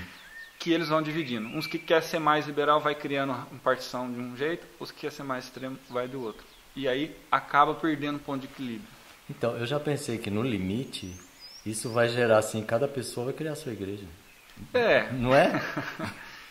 Se cada um Sim. for ter a sua ideia particular de, da espiritualidade, vai ser assim, é, a interpretação, o, né? O, o, a igreja adventista ela não era uma igreja, era um movimento de várias igrejas antes que ah, é? queriam, sim, lá, nasceu nos Estados Unidos, né, a partir de 1844, que queriam pregar sobre a volta de Jesus, uhum. porque eles estavam estudando as profecias, então não era uma religião a princípio, era só um movimento que falava da volta de Jesus, porque perceberam que ah, do advento, advento, né? sim, é. da vinda de Cristo e, e esse, esse movimento cresceu mundialmente. É a segunda maior organização mundial depois da ONU. Está em todos os países. É mesmo? É. Olha só que interessante. Então ela cumpre um movimento profético da igreja para avisar a volta de Cristo. Né? Uhum. E entre outras coisas, né, uma dessas missões, é, a principal é essa. Né? O motivo da gente fazer a, a Casa dos Missionários aqui é levar uma mensagem de que o mundo está sob o controle de Deus e que os reinos dos homens vão acabar. Né? Os presidentes, os reis dos homens têm um tempo determinado para governar sobre a terra. Acabou esse tempo, aí vem o governo de Deus. Só que o governo de Deus, como diz lá no Apocalipse, vai separar os bodes das ovelhas. Então a gente tem que fazer a escolha nossa agora. Uhum. Então o meu trabalho como missionário é ensinar a pessoa a ter o RG celestial. Gostei. Porque esse é... celestial é bom. É, porque quando vier o reino de Deus, você já vai já estar tá apresenta ali, ó. Participar dele. Liberado. Entendeu? Você está sobre as leis de Deus, é. não sobre as leis dos homens. Porque quem obedece a Deus, é Deus quem vai cuidar dele. Né? Uhum. É, e, e, isso tudo está ficando muito patente assim para todo mundo ver, no, no mundo inteiro. Essa guerra, né? Espiritual. Eu não acho nem que é guerra política, eu acho que é guerra espiritual, né? Porque é uma coisa que é da essência do ser humano, né? Sim. Esse negócio de ser bom, ser mal, né? Olha, Deus fez o nosso corpo assim, ele, é, ele é todo dividido, né? Tem, você tem o um braço direito, braço esquerdo, mão direita, mão esquerda, na, dois narizes, dois olhos, dois ouvidos, o hemisfério é, esquerdo e direito do cérebro. Deus fez assim de propósito. Eu acho que as pessoas têm que entender que se o, um lado tiver contra o outro, o corpo não faz nada direito. Uhum. Imagina, você quer tomar uma água, o outro lado não, não quer tomar água, você precisa fazer outra coisa, precisa uma briga eterna, seu corpo não funcionaria. Então seu corpo só funciona porque você tem equilíbrio de todos os membros, né? Isso aí fala na Bíblia, né? O que seria de um corpo se um acha mais importante que o outro, uma parte é mais importante que a outra, fala, ah, não, não vou fazer tal coisa. Né? Então, eu gosto muito de estudar a parte de personalidade. Né? Essas coisas me interessam muito. Desde o começo, quando comecei a ser missionário. E, mas onde que você busca informações para isso? Porque não é só na Bíblia. Não. É. é a Bíblia ela é 90%, assim, vamos dizer, da, da busca nossa. Existem uhum. outros livros, né? Cristãos, livros de pessoas que estudaram história, né? Que estudaram é, profecia e tem esses livros que a gente lê né, para poder ensinar, levar adiante. Tá, mas essa coisa do comportamento do comportamento é, é nesses sim, livros que você está falando, livros, sim. tá? Tem, tem um livro muito bom chama Mente, Caráter e Personalidade, né? Mas são todos ligados à, religião. À religião. Tá. Sim. Entendi. É, voltando na parte de, de, ser missionário, né? Toda hora a é, conversa não, vai, eu, Se você não falasse nada, eu ia te perguntar. Então, isso aqui é materialização da, sua intenção de passar adiante essa coisa é. que você percebeu. Eu vou, vou contar assim, a, a história é, é, muita coisa, né? Tem, tem muita coisa. Olha, então já estou achando que a gente vai ter que separar em capítulos. Vai né? separar em capítulos. É, eu vou ter que voltar aqui já. Vamos separar em capítulos. Mas a história é boa, vamos lá. Não, eu, eu tô achando ótimo. Isso tudo que você está me falando, eu não sei como que você. Você, você que me chamou, né? Foi. Eu não sei o que, que você detectou e qual era a sua intenção, mas eu acho que você acertou. Porque eu tô gostando, vai. Tá, deixa eu tirar esses. É, aqui. Isso aqui você bota pra fazer o cordwood, né? Essa... Esse é, é pra fazer o acabamento. Da... Ah, é aquela história daquele. Você vira aqui, ó. É daqui... Igual se fosse aquele tecido, né? Pra juntar madeira com terra, né? Isso. É. Você viu lá no Renato, o Renato Piva falando também? Isso mesmo. É o Piva que, falou isso aí. Acho que é técnica japonesa. Quer mudar de posição? Quer sentar em algum lugar? Não. Ah, vamos. Não, sei lá, que você, você levantou e eu achei que você queria mudar de lugar. Não, quer sentar por aqui? Vamos tirar isso. Só que aí eu vou pedir para você fazer. É, eu vou ficar ali e você aqui. Porque eu quero que você. Senão você fica com a luz no fundo. Tá. Não, você senta lá. Mas eu não sei. Você vai ficar torto aí, não vai não? Tá bom, hein? Tá, pronto. Tá, aqui tá ficou melhor para mim que eu apoio na perna agora. Vamos embora lá. eu, já, eu já deixo com você, porque eu vejo que você sabe conduzir a história. Tá. Quando eu tive esse interesse de ser missionário, eu procurei um missionário experiente, né? Pode sentar nesse tijolo não? Ele Pode, aguenta? ele já está seco. Já está seco, né? Então vou sentar. E aí eu, eu mandei um e-mail para ele, falei, olha, eu quero ser missionário, eu sei que você é, e ele andava o Brasil inteiro e tal. Aí ele mandou a resposta, falou, ah, é difícil, é muito caro e tal. Meio que jogou um banho de água fria. Eu fiquei meio triste, falei, mas eu vou nas que são perto. Insisti ainda. Você queria ser missionário dentro das regras da, do pessoal da Adventista, é isso, né? Do, do, desse missionário ele já era independente, é um missionário... Ah, existe isso também? Tem, tem. Porque na verdade a igreja adventista para você ser missionário, você tem que ser pastor hoje em dia. Antigamente ainda tinha outros missionários que não eram pastor. Hum. Mas eu não queria fazer teologia, nada disso. Eu queria ah, ser um missionário um voluntário, é, é. voluntário. Uhum. E aí, para ser missionário voluntário pela Adventista, você tem que ir num programa de missionário, você paga e tal. E eu não tinha dinheiro. Ah, o caro era esse, que você é... que tinha que investir dinheiro. Não, e eu queria porque eles não dão dinheiro ajuda depois? Não, não tem mais missionário assalariado, o cara Entendi. que trabalha com isso, é só os pastores mesmo. É. A pessoa que quer ser independente, ela tem que ir por conta. Aí eu, eu procurei esse missionário, ele meio que jogou um banho de água fria. E depois eu falei, não, mas eu vou no perto, vou em São Paulo aqui mesmo, você fala o lugar onde é, eu pego um ônibus e vou, só para você me ensinar. Aí ele falou, ah, depois eu te mando aí o um endereço do lugar que eu vou. E eu fiquei esperando até Nunca, hoje. Né? E eu fiquei orando, pedindo para Deus, Senhor, eu quero trabalhar com isso. Eu quero ser missionário, eu quero ajudar as pessoas. Eu preciso, a minha alma precisa disso. E aí Deus encaixa nas peças. Conheci um missionário chamado Zé Luiz Pereira, da Bahia. Esse missionário estava numa casa de um amigo, que eu estava lá, um dia, num culto, um dia de sábado. Hum. Aí eu, eu, fui passar uma mensagem lá de vida no campo, de experiência de coisa do campo. Uhum. E eu dei um livrinho de presente para eles, chamado Vida no Campo, um livrinho pequenininho assim. Dei para cada um. Aí ele pegou esse aqui, rapaz, eu queria saber falar assim. Falei, eu sou um capial da roça, não sei falar direito, você está falando que eu sei. Ele falou, não, é que o meu trabalho, eu sou missionário. E eu, às vezes, preciso disso. E eu tenho, assim, meio vergonha de falar. Não vergonha, mas eu não, eu não sou bom para falar. Meu trabalho é distribuir folheto, livrinho, DVD, essas coisas, tudo eu distribuo. Uhum. E eu produzo em casa. Falei, eu queria saber fazer isso aí. Olha. Ele falou, então vamos combinar as coisas. Eu viajo direto, todo fim de semana praticamente eu estou viajando em missão. Vamos comigo para a Bahia. Mas e passagem de, de, avião, né, cara? Ele falou, não, eu tenho os esquemas, eu compro tanta passagem que eu, eu compro muito barato. Uhum. Eu paguei 250 reais e de volta. Aí nós fomos para Bahia. Aí o Zé Luiz, é, ele era um pouco mais velho que eu, assim, não sei, uns 15 anos talvez mais velho que eu, mas já tinha uma experiência, uma bagagem muito grande. E ele fazia numa naturalidade, ele conversava com as pessoas assim, não era robótico, não era aquele negócio que estava com a camiseta da missionária. Não, ele se vestia normal. Uhum. Ele entrava no meio do povo, ele pegava dentro do ônibus. Sei. Sabe? Era desse jeito. Uhum. E, e, ele era muito corajoso.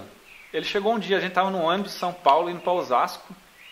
Ônibus lotado, lotado, parecia uma lata de sardinha. Então você começou a andar com ele para aprender? Comecei a andar com ele para aprender. É. Aí começamos a andar nos metrô, nos trens, nos ônibus. É que é o lugar onde tem mais gente, é muito mais Sim, fácil, né? É. E aí ele começou a pregar dentro do ônibus. Ele falou assim: Vocês estão vendo essa condição que nós estamos vivendo aqui? Hum. Nós estamos igual numa lata de sardinha. Deus não planejou isso para nós, não. O homem devia estar morando no, na natureza, no campo. Uau. Dentro do ônibus, cara. Falando assim. Aí uns levanta para xingar, né?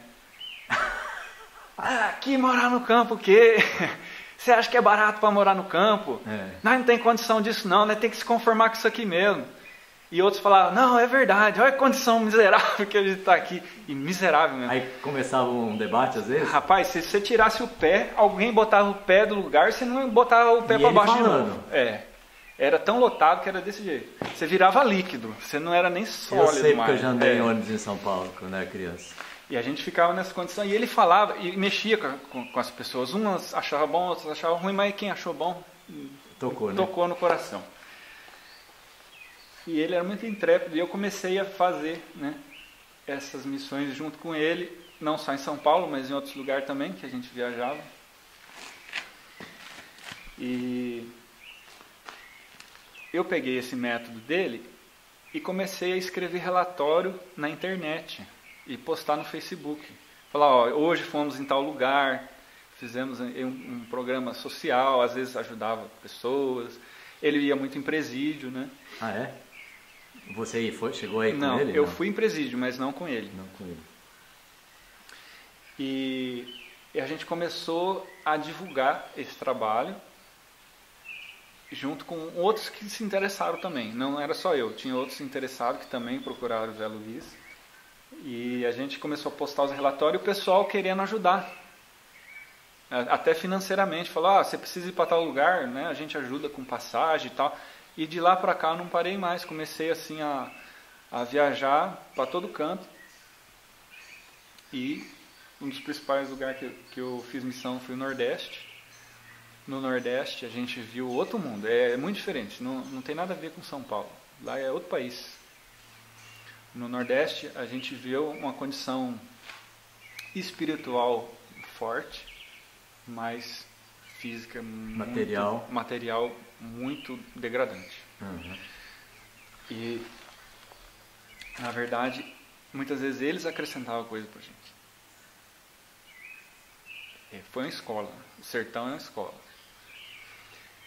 É, daí eu tive essa, essa pós-graduação né?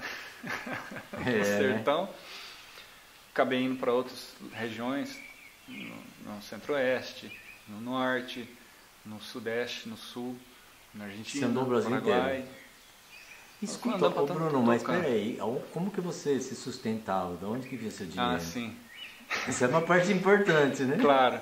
As missões, as próprias pessoas que queriam, muitas vezes igreja ou de grupo local, que é, pedia para a gente ir lá. Ah. Porque o nosso grupo ele é até bem unido, né? Esse pessoal que, que assim, é adventista, mas não está muito dentro da igreja né, que não concordam com as coisas, eles são um povo muito unido. Ah, são. Entendi. E eles se ajudam nisso, na parte de evangelismo. É muito forte o evangelismo né, nesses grupos que a gente frequenta. E eu tinha o meu sustento próprio até é, a pandemia, que era vender pão. Eu faço pão sem fermento para vender. Jura? Uhum. Depois, depois eu acho que nós vamos fazer um lá. Nós vamos fazer do trigo que eu plantei aqui, eu tenho trigo ah, lá. Nós vamos moer na hora e fazer um chapate lá do. Mas será que vai dar tempo hoje? Ah, dá, é isso? é rapidinho. Né? Chapate é coisa de 15 minutos, sai uma folha lá. Que legal. Mas peraí, o seu pão sem fermento. É, é igual o chapate. Eu sei, mas tem um que você deixa na fermentação natural também? Não, não, só esse, só esse chapate é que esse eu faço que você faz. vender. Ah. É. Ah, é? É, eu vendo aqui em Santo Antônio, na, na na Quitando Ferreirinho lá. Que interessante. Aí eu deixo lá, semanalmente, eu levo uma vez na semana. Mas peraí, quanto tempo que dura isso fora da Uns geladeira? 20 dias. 20 dias, porque ele é bem sequinho, É, né? eu, fui- eu mudei a receita, porque o chapate é mole. Ah, o seu é mais durinho. O meu, eu alterei um pouco os ingredientes, assim, as proporções, para deixar ele crocante. Mas virou um Seco. pão sueco, mais ou menos, Tipo né? pão sueco. A É, diferença é que o pão sueco ele tem fermento e tem açúcar. entendi. E o meu é o sem seu não tem nada. E sem fermento. Mas então você se sustentou com isso durante um tempo? Sim, muitos anos. E, a- e assim, eu só estou construindo essa casa dos missionários porque um grupo chamado Veredas Antigas resolveu me ajudar financeiramente para eu não precisar trabalhar fora para poder dedicar só essa obra aqui. Então eu tô, eu tô Você tá construindo nesse aqui praticamente todo dia, é todo dia aqui na obra. Todo dia É. aqui. Escuta, deixa eu ver se eu entendi. Vocês são uma população marginal que não que está ligada ao movimento adventista, mas não está exatamente Não, não tá eh, dentro de da hierarquia. na deles, hierarquia não. nada. A gente é independente. Vocês são independentes. Sim, mantém é, a parte doutrinária dos princípios fundamentais dos pioneiros da igreja, vamos dizer. Mas aí e seria um pouquinho eh, eh, mais fiel às origens, é Sim, isso? é. Tá. Nossa, esse mundo é muito novo pra mim. Vai. é... Olha, se você gosta de ouvir testemunho, testemunho tem bastante. Mas eu vou contar assim, Não, os mais con- relevantes. É, vai contando à medida que você for contando. né? Eu vou contar da constru... das construção, que então. Eu vi o meu pai sempre é, fazendo plantas de, de projetos. Meu pai trabalhava com venda de, de Ah, é. essas coisas, e às vezes ele planejava, ele desenhava. Meu avô também trabalhou com ele com isso. Então, eu, quando era jovem, morei, morei em Jacareí, eu ficava lá desenhando também. Desenhava casa, planejava o jeito que eu queria minha casa. Meu sonho era fazer uma casa. Mas era sonhando, né? Sonhando, eu tinha 18 anos de idade É. e ficava ali planejando.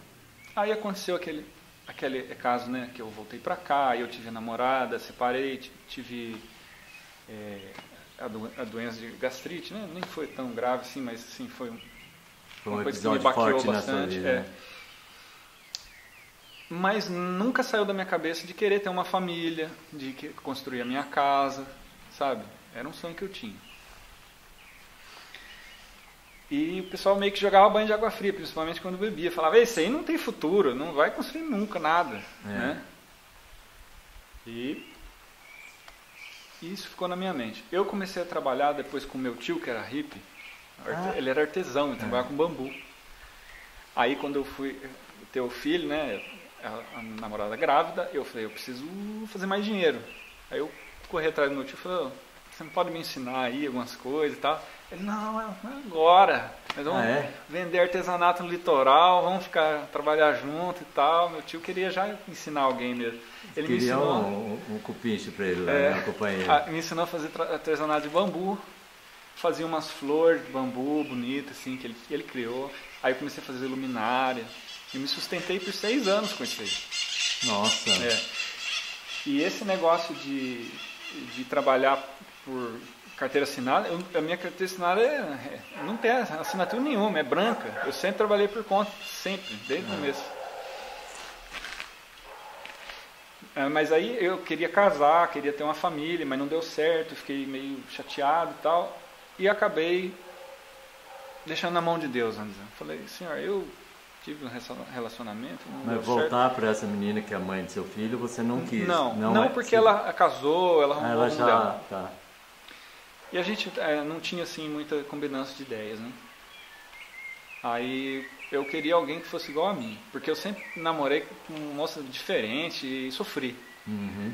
Aí eu orava e pedia para Deus, Senhor, eu quero alguém igual. Esse negócio de oposto se atrai, isso aí não, pra mim não faz sentido. Igual no propósito de É. vida, né? assim, oposto, só se assim, eu, eu, eu sou homem, ela é mulher, só isso que tem que ser oposto, o, O resto, tem que ser tudo igual. É. A gente tem que gostar de comer as mesmas coisas, de mato. Pra somar, né? É, senão vai ficar brigando Anula. eternamente. E eu falei assim, eu quero até alguém que seja parecido comigo, que tenha a mesma criação, que entenda, né, assim, a, a ideia. E eu orava e pedi isso aí. Falei, mas se o senhor quiser que eu fique sozinho, tira de mim os desejos do coração. É. Mas o desejo não saía, eu continuava querendo ter uma família. Aí um dia, aqui, esse galpão, ele tinha ali umas ferramentas que eu fazia os artesanatos. Tinha uma bancada, e eu trabalhando. E eu estava sonhando direto com uma casa de esquina de tijolo. Sempre sonhava com essa casa. E vinha de dia, eu trabalhando, vinha essa imagem na minha mente.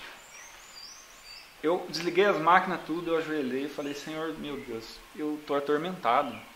Porque, ó, eu estou sem, sem o meu filho. Tá com a mãe dele. Não tenho ninguém. Já moro na casa da minha mãe. Que sentido tem eu fazer uma casa? Mas se o senhor quer que eu faça uma casa, eu vou fazer.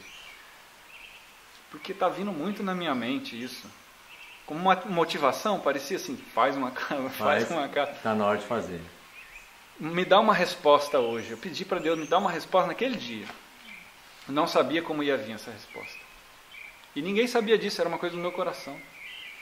Mas ó, naquele dia de tarde, seu parecido veio aqui que ele sempre vinha às vezes visitar, trazer uma planta, uma, uma semente, alguma coisa assim, né? Ele que veio. Ferramenta. Ele que veio te procurar aqui? Sim, né? a gente é. sempre é assim, trocando ideia, ferramenta, é. planta, a gente é assim, desde sempre. Aí ele veio com quatro folhas de janela na mão. Aí ele chegou, ô oh, Bruno, olha aqui que eu achei lá nas minhas coisas velhas. Você quer para você, ó, um dia que você for construir sua casa, sua casa, assim, aí você usa ela. Falei, já tenho a resposta. É. É para fazer. Né? É para fazer. Aí eu fui pro terreno, lá para cima. Peguei as linhas, os bambus, toquinho, fui puxando as linhas já, planejando. Aí os meus pais, eles não moravam aqui, né? Só que eles chegaram nesse dia, tava eu lá, puxando as linhas. Uhum. Aí minha mãe, ô filho, o que, que você tá fazendo aí? falei, ó, eu vou fazer uma casa. Ela olhou assim, meio dando risada. Você vai fazer casa? Você tem dinheiro para fazer casa? Dinheiro não tem não, mãe. Eu tenho fé.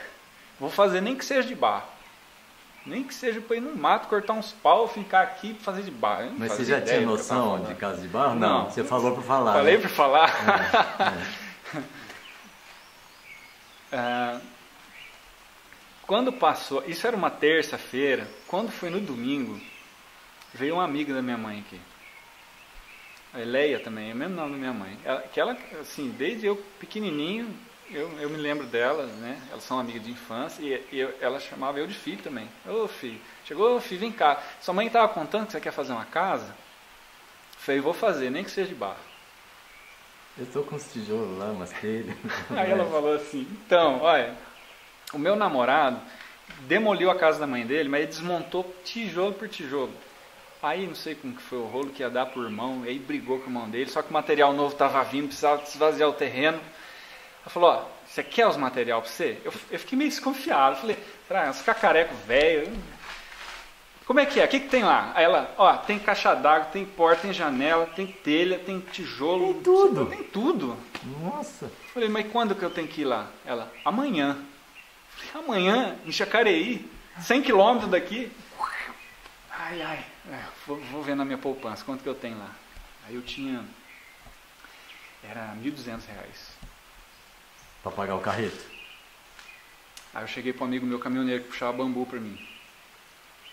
Falei, aí, quanto você cobra? Três viagens lá para Jacareí. Você calculou, você já foi lá ver antes? Nem, nem Não, não, eu você chutei. Chutou. É porque o tanto de quantidade que ela falou, é, eu chutei mais ou menos porque eu conheci viagens. o caminhão do amigo meu. É. Foi com as três viagens. Aí, ah, 1.200. Falei, tá na mão. Na hora. Chamei meus primos, tudo. Falei, ó, nós vamos buscar uma casa lá em Jacareí.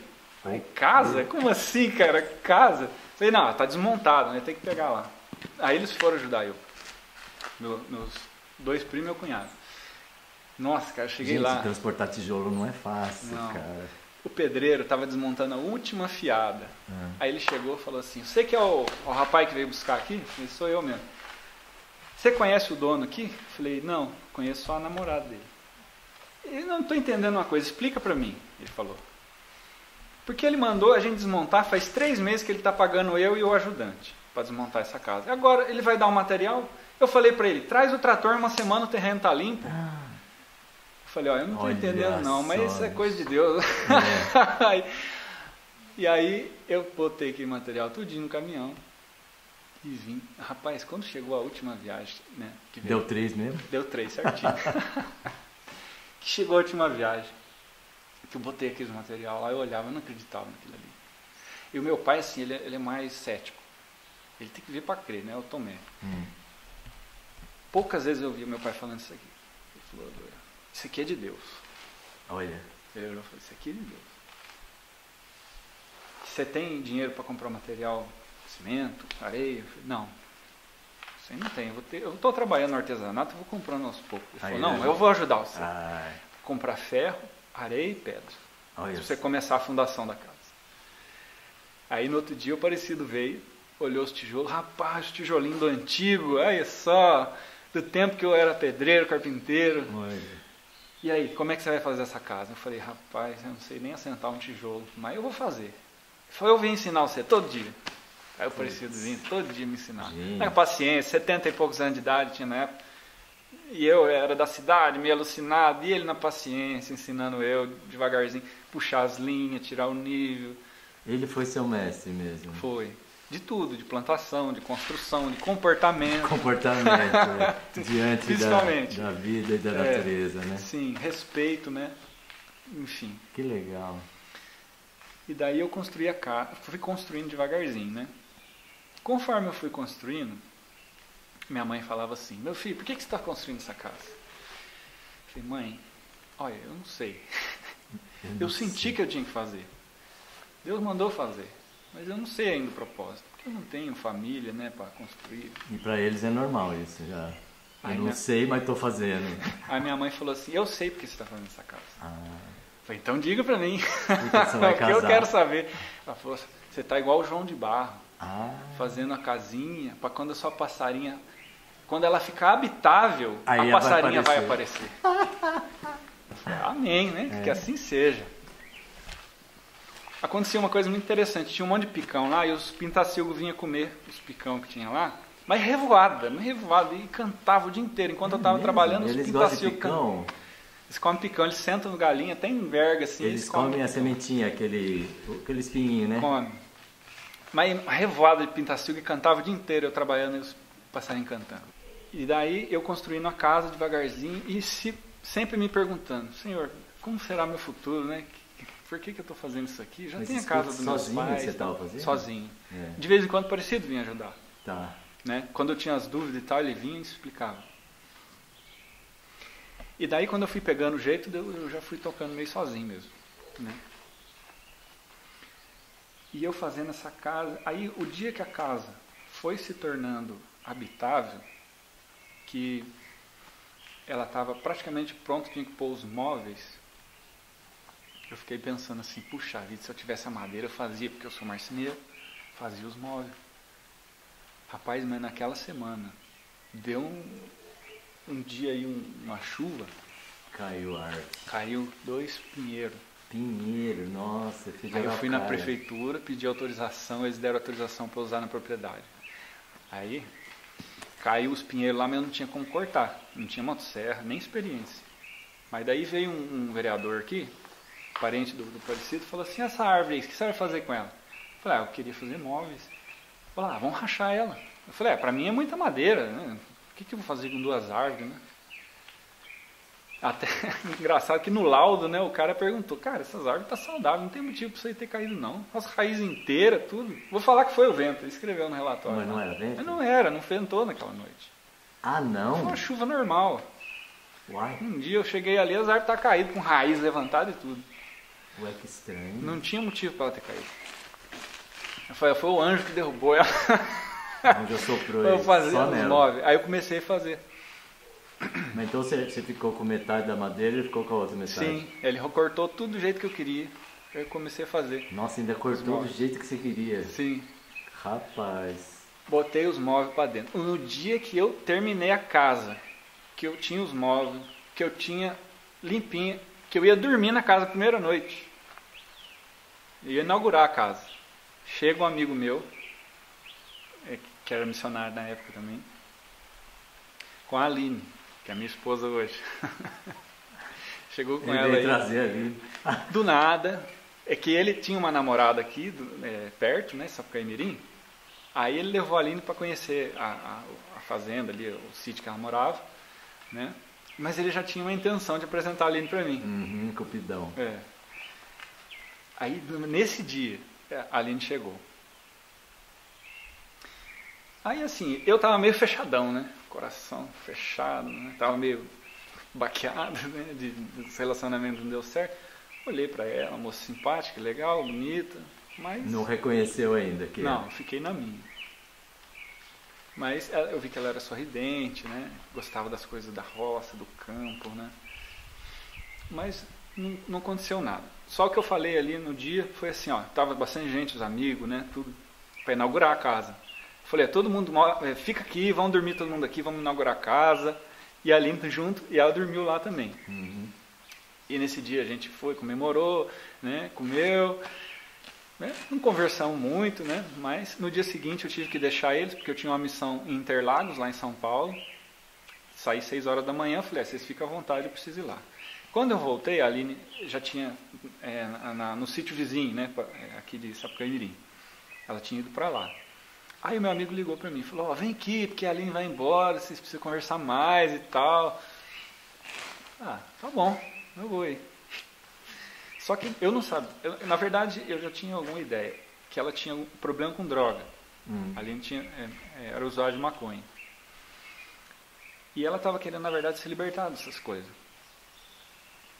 E eu cheguei lá, ela estava meio brisada, hum. no meio do rio, sentada numa pedra. Tem um rio de corredeira lá. Aí esse meu amigo falou, ah, vai lá, troca ideia com ela, porque ela precisa ficar mais, conhecer mais e tal. E ele já, já nessa intenção de apresentar, falou, tá bom, eu vou conversar com ela lá. Aí eu fui pulando, né, as pedras, dei um salto enorme assim para poder chegar onde ela estava, quase que eu caí dentro d'água, mas deu certo. Cheguei lá, eu não vou perder tempo não, eu vou, vou falar o direto aqui, que já entendi a situação que ela estava, né, drogada, estava... Mas você foi na intenção... Não, na intenção de, de ajudar. Ah. Né? Ela estava muito triste, ah. percebi isso. Eu vou fazer o meu papel de missionário. Falei, você quer servir a Deus? A primeira coisa que eu falei. Já chegou assim Sim. direto? Ela olhou e falou, quero. Ah. Falei, faz igual esse rio. Tá vendo? Quanto obstáculo ele tem. Mas ele passa e ele chega onde ele tem que chegar, no objetivo dele. Se tiver obstáculos, você desvia. Tem objetivo na mente. Ela deu um sorriso assim, falou, verdade. Falei, dá sua mão aqui para mim. Peguei a mão dela assim. Falei, eu vou puxar você. vamos, vamos lá para casa? Vamos lá no meu sítio? Vamos. Aí chegou aqui, estava é, com meus pais, tudo, e eu fazendo artesanato. Aí eu percebi que a mente dela ainda estava muito avoada, né? Hum. Falei, eu preciso dar alguma coisa para ela voltando, né? Falei, voltando. Para aterrar, né? Aterrar. Aí eu estava fazendo artesanato de bambu. Aí eu dei uns bambus para ela furar, fazer aquelas. É, sino de varanda. Sei, né? sei.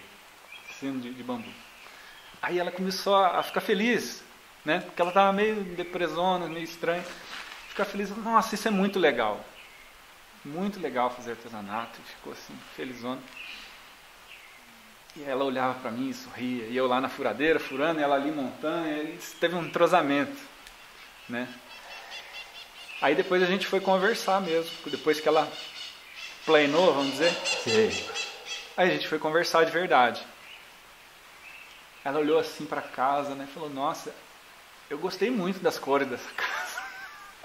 Eu fiz design de interiores e esse é o, é o estilo que eu mais gosto, rústico. Nossa.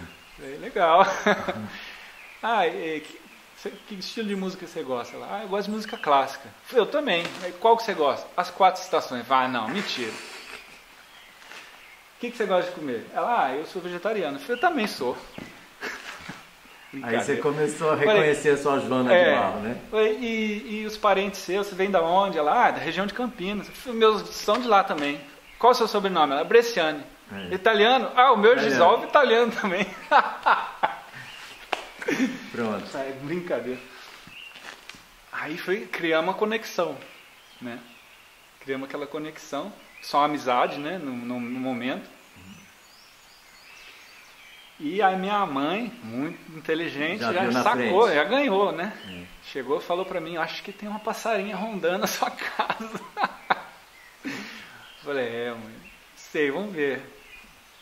Pode ser que ela tinha falado que quando tornasse habitável a passarinha Nossa, aparecer, deu, deu, daí deu no certinho. dia, no dia. Não foi um dia depois nem antes. Aí ela foi embora, a gente continuou se comunicando. Eu tive que fazer uma missão no Maranhão. Falei, ó, quando eu voltar, a gente se encontra de novo. Né? Eu, eu vou para o Rio de Janeiro, mas dia 28 eu tô aí.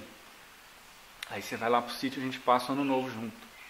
Né, na casa dos meus pais. Ela, tá bom, então vamos. E, e, eu lá na missão, lá no Maranhão, todo dia conversando com ela no telefone. E a conversa vai, vai.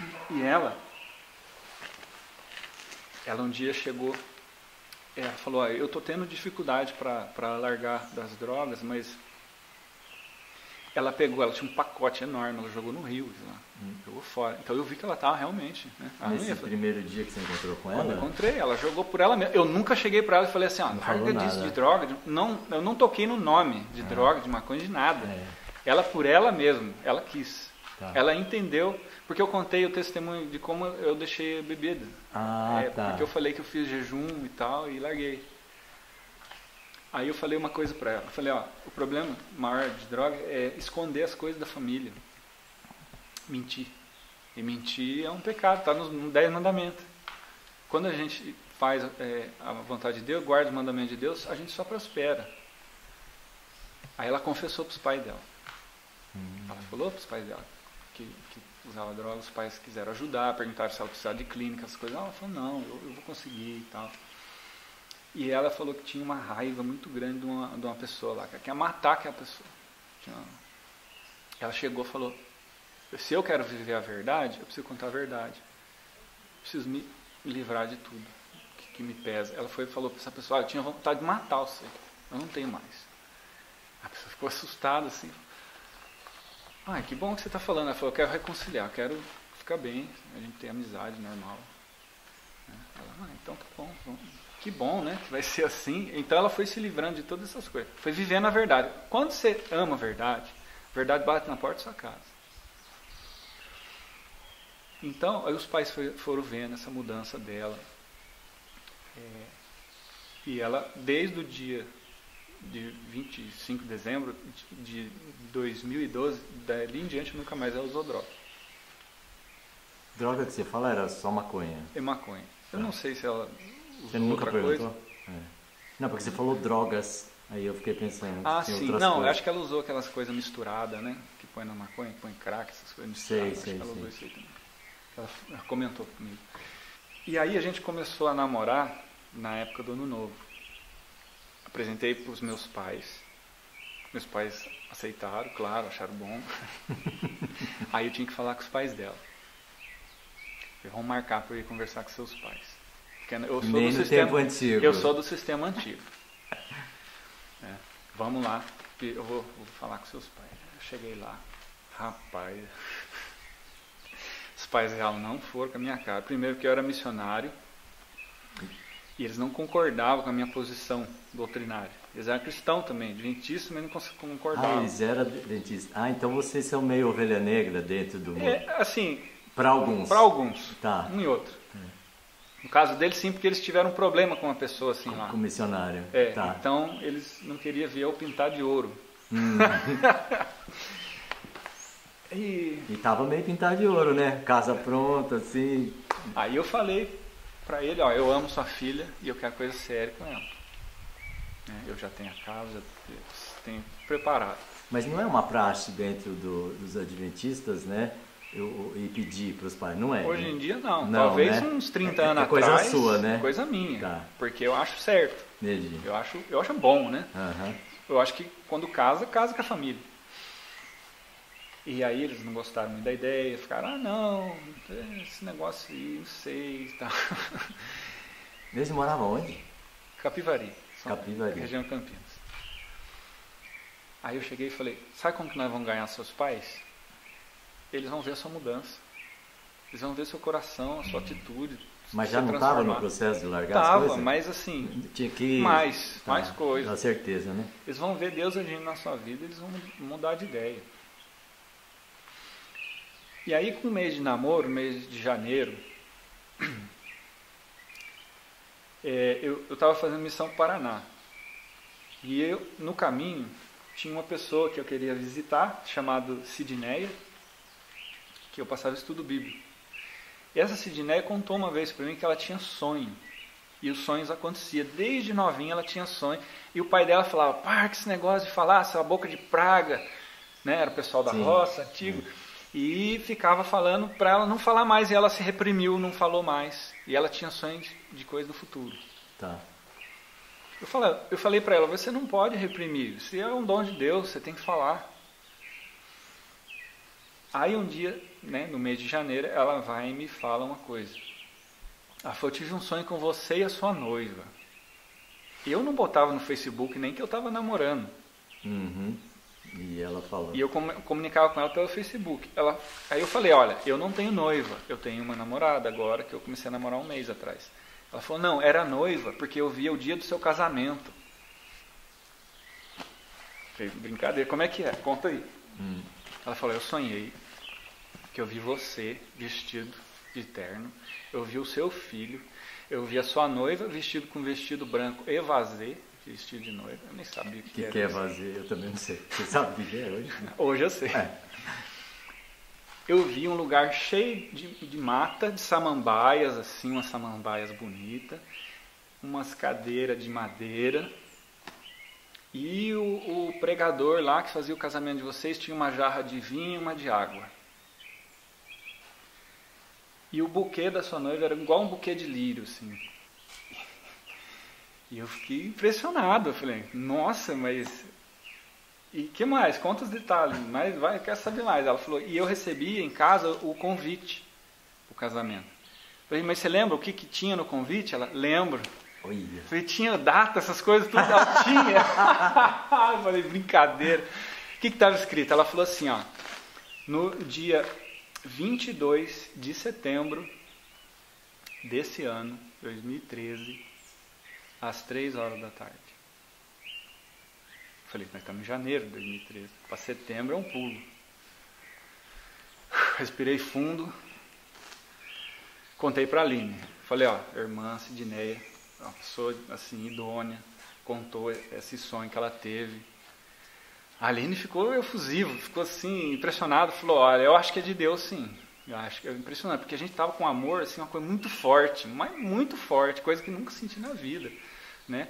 Toda aquela combinância, né? De, de ideias, de querer viver a mesma coisa. E eu sempre tive costume de pedir sinais para Deus, né? Uhum.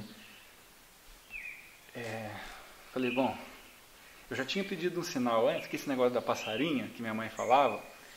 Um pouquinho antes de namorar com a Aline, eu fiz uma ligação para ela e eu pedi para Deus assim: se ela responder passarinha, é ela.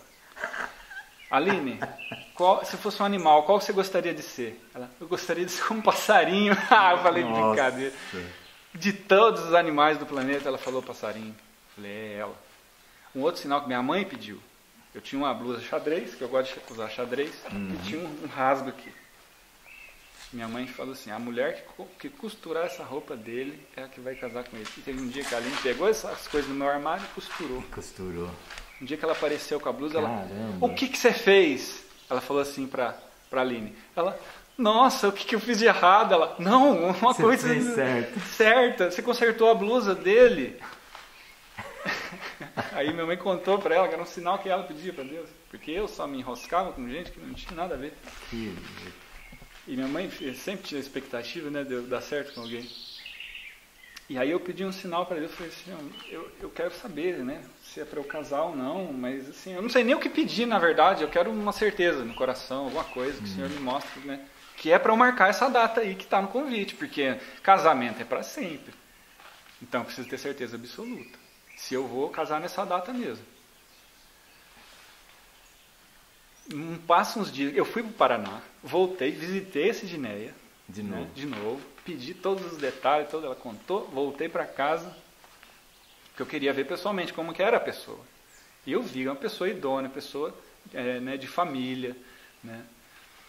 É, ela era mais velha, assim, tinha uns, uns 45 anos, né? É, casada, com filho, sabe? Uma, uma pessoa que, que vivia é, do bem, né? Pessoa do bem. Aí, quando eu cheguei em Jacareí, dessa viagem que eu fiz para o Paraná, a minha mãe estava em Jacareí, fiz uma escala lá, ela Filho, vem cá, eu vou mostrar um, uma coisa que você ganhou de presente aqui. Mandaram para você. Falei, quem que mandou? O mesmo que te deu os material da casa, o Rogério. Ele mandou um terno para você. terno? eu nem uso terno, eu detesto usar essas roupas chiques. Só uso essa roupa simples, mas por que, que ele me deu um terno? Ela, não sei, não me pergunte, ele só mandou entregar aqui. E servia para você? Rapaz, eu vesti o terno, um terno cinza antigo. Sabe esses ternos assim, Sei. que que era de alfaiate, que é antigo? Uhum. Vesti, caiu como uma luva. Ela, minha mãe olhou e falou, é, minha mãe costureira falou, ó, só ajeitar a cintura que tá perfeito. Ah. Aí eu fiquei, terno, casamento. Tá chegando. Tá. Vou ligar pra Sidneia. Sidneia, você lembra que cor que era o meu terno no sonho que você teve? Ela, cinza. Da cor que o terno que eu ganhei. Ela é cinza, é cinza mesmo que você viu? Ela é, era um terno cinza. Que brincadeira, cara. Terno cinza, lugar com gramado samambaia. Samambaia, tudo é o gramado da minha casa aqui, tudo igual. Como pode? Aí eu fui marquei o casamento. Só entre eu e a Aline. Vamos casar? Vamos casar. É de Deus, não tem como dar errado. E agora para a gente falar para seus pais? Seus pais não querem ver eu nem pintar de ouro? O que, que eu vou fazer? Ó, dia 19 de maio, é, vai ser o dia do meu aniversário, eu vou lá. Né? A gente comemora o meu aniversário lá na casa dos seus pais. Aí já, a gente conta o casamento para eles, a data já. E até lá, ah, que Deus prepare o coração deles. Chegou no dia, fomos para lá. Aí fui anunciar o casamento. O pai já quase teve um troço, quase engasgou. Peraí, então você já tinha assumido que ia ser no 22 de setembro mesmo? Ah, assumi. Falei é. a data para eles. Eles, ah, ele é muito cedo, vocês têm que conhecer melhor. Não sei se vai dar certo isso aí. E ficou desesperado. Ele não queria que a gente casasse de ninguém. Aí só que a mãe dela, ela foi vendo a transformação da Aline. E aí ela amoleceu o coração chegou para Aline e falou, olha, eu vou ajudar no seu casamento, tá? Seu pai ainda está meio assim, mas eu vou, vou ajudar. Eu vou comprar um vestido de noiva para você. Aí ela foi e comprou o vestido, modelo Evazê, que ela nem sabia disso aí, que a gente nem contou para ela. É. Ela comprou, que é um modelo assim, ó, aberto. Assim. Que abre, é. ah, meio armado. É, eu não sei se é um modelo que, é. que o vestido é cinturado e que abre. E que né? abre, é sei que é meio desse jeito aí. Aí tudo marcado, chegou o dia do casamento. No dia do casamento, nasceu as palmas no mato. O vizinho falou, falou que tem um monte de lírio lá para nós buscar os, os copos, copos de leite, na verdade. Uma outra vizinha falou: Ó, oh, nasceu um lírio bonito aqui. Acho que dá para fazer um buquê. Sabe as amarelas? Sei. Ela veio e trouxe aqui. Da cabeça dela a gente não falou nada pessoal trouxe as flores, as lavandas, eu cortei uns bambu, fiz os caminhos com os bambu. Aí o Nestor, o vizinho, aí, falecido já, mas na época ele mexia com cavalo, domador de cavalo. Aí tinha uma égua que nunca tinha sido montada. Tirana é o nome da égua. Braba, braba. Não estava domada? Ele estava domando. Tava domando. Só ele que montou. Nunca tinha ninguém estranho montado nela. Falou, olha, você quer entrar no casamento de cavalo, mas ela não está muito domada. Ah, vamos arriscar, vamos, vai dar certo. Vou, vou na tirana mesmo. Você, aí ele falou, eu vou com a outra égua atrás, que, que ela está acostumada. Você ia chegar montado para a montado, é. é. A gente fez o contrário. Ela entrou primeiro. Hum. E eu entrei por último. Sei. Né? Porque na Bíblia, o noivo vem por último. Hum. Né? Os casamentos da Bíblia. É, e até no Apocalipse, né? Que Jesus é comparado é, com o noivo, a igreja, a noiva, né? Sei. O povo de Deus. Aí ah, Jesus volta né? e volta. encontra com a noiva. Tá. Né? E aí ela estava lá, toda preparada. E o que aconteceu? Um pouquinho antes disso aí, né, de eu montar no cavalo, era 22 de setembro, época de primavera. Interessante que o aniversário da Lina é 23, né? Diz o seguinte: o pai dela é um homem de Deus, é alguém que pediu um sinal para Deus também. E ele falou assim: Eu quero que se o casamento deles for de Deus, essa união for de Deus, chova 10 minutos antes do casamento e para. Rapaz, um pedido desse aí tem que ter fé. Eu, eu, eu gosto de pedir o sinal, mas é o esse- pai dela? O pai dela Pai pediu dela. esse sinal, não falou pra ninguém. Guardou esse aí no coração. Esse que é o Tico? Esse é o Mike. É o Mike. Aqui é o Tico. Esse que é o Tico. Ah, É o terceiro Tico que eu tenho. ah eu já tive tá, três porque você falou, mas não, mãe, você só tem um ano, né? Por isso que eu o outro. Morre um, eu vou comprar o outro. Eles são muito carinhosos. Ai, que... Muito amorosos, que São. dizer. Eu Que- gosto muito dessa raça. São independentes, mas são carinhosos. Aí o pai delas pediu esse sinal pra Deus, né? Que Ah, deixa eu tá ver. chegando se- alguém. É minha mãe. É a mãe? É. A gente tá, Oi, dona Leia. tá gravando aqui. Não, não tô atrapalhando nada. Pode chegar aqui. A senhora tá aqui dentro da história dele. Sim, É, com a certeza. do Prazer Oi, você. Prazer. Tudo A senhora- bem? acho que a senhora já viu os vídeos, né? Ah, com certeza. Com certeza, já viu? com certeza. Gente, eu vim filmar a bioconstrução. Esse menino tá contando a história da vida dele. E eu tô gostando. É, é muita coisa. É muita coisa. Aí tem mais um. É, essa aqui é a Mel. Essa aqui minha mãe pegou ela, tava aleijada na rua. Olha, mas ela tá boa Tinham já. né? tacado um ferro nas costas dela, alguma coisa lá, tava sem andar. Aham. A minha mãe trouxe pra casa, foi um milagre, essa cachorra tá andando agora. Não, ela tá ótima, né? Olha lá.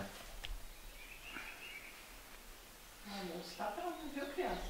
Tá, É, eu, eu só tô aqui pensando que hora que nós vamos parar, porque não vai dar.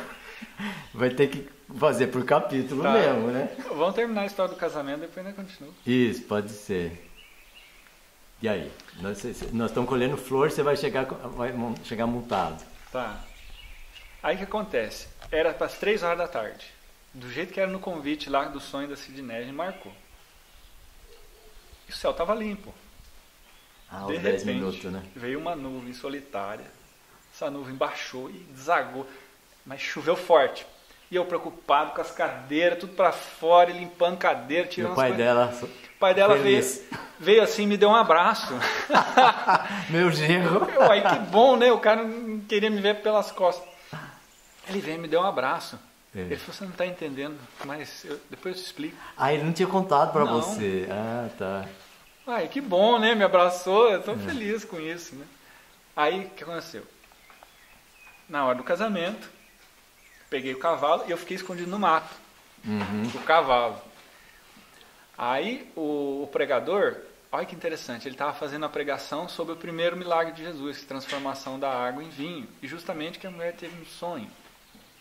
Que tinha que água e tinha água vinho. Ele não botou um jarro de fato, mas ele pregou sobre isso. Sobre isso, é. E aí ele fez a pregação e chamou o noivo. Falou: Eis que vem o noivo.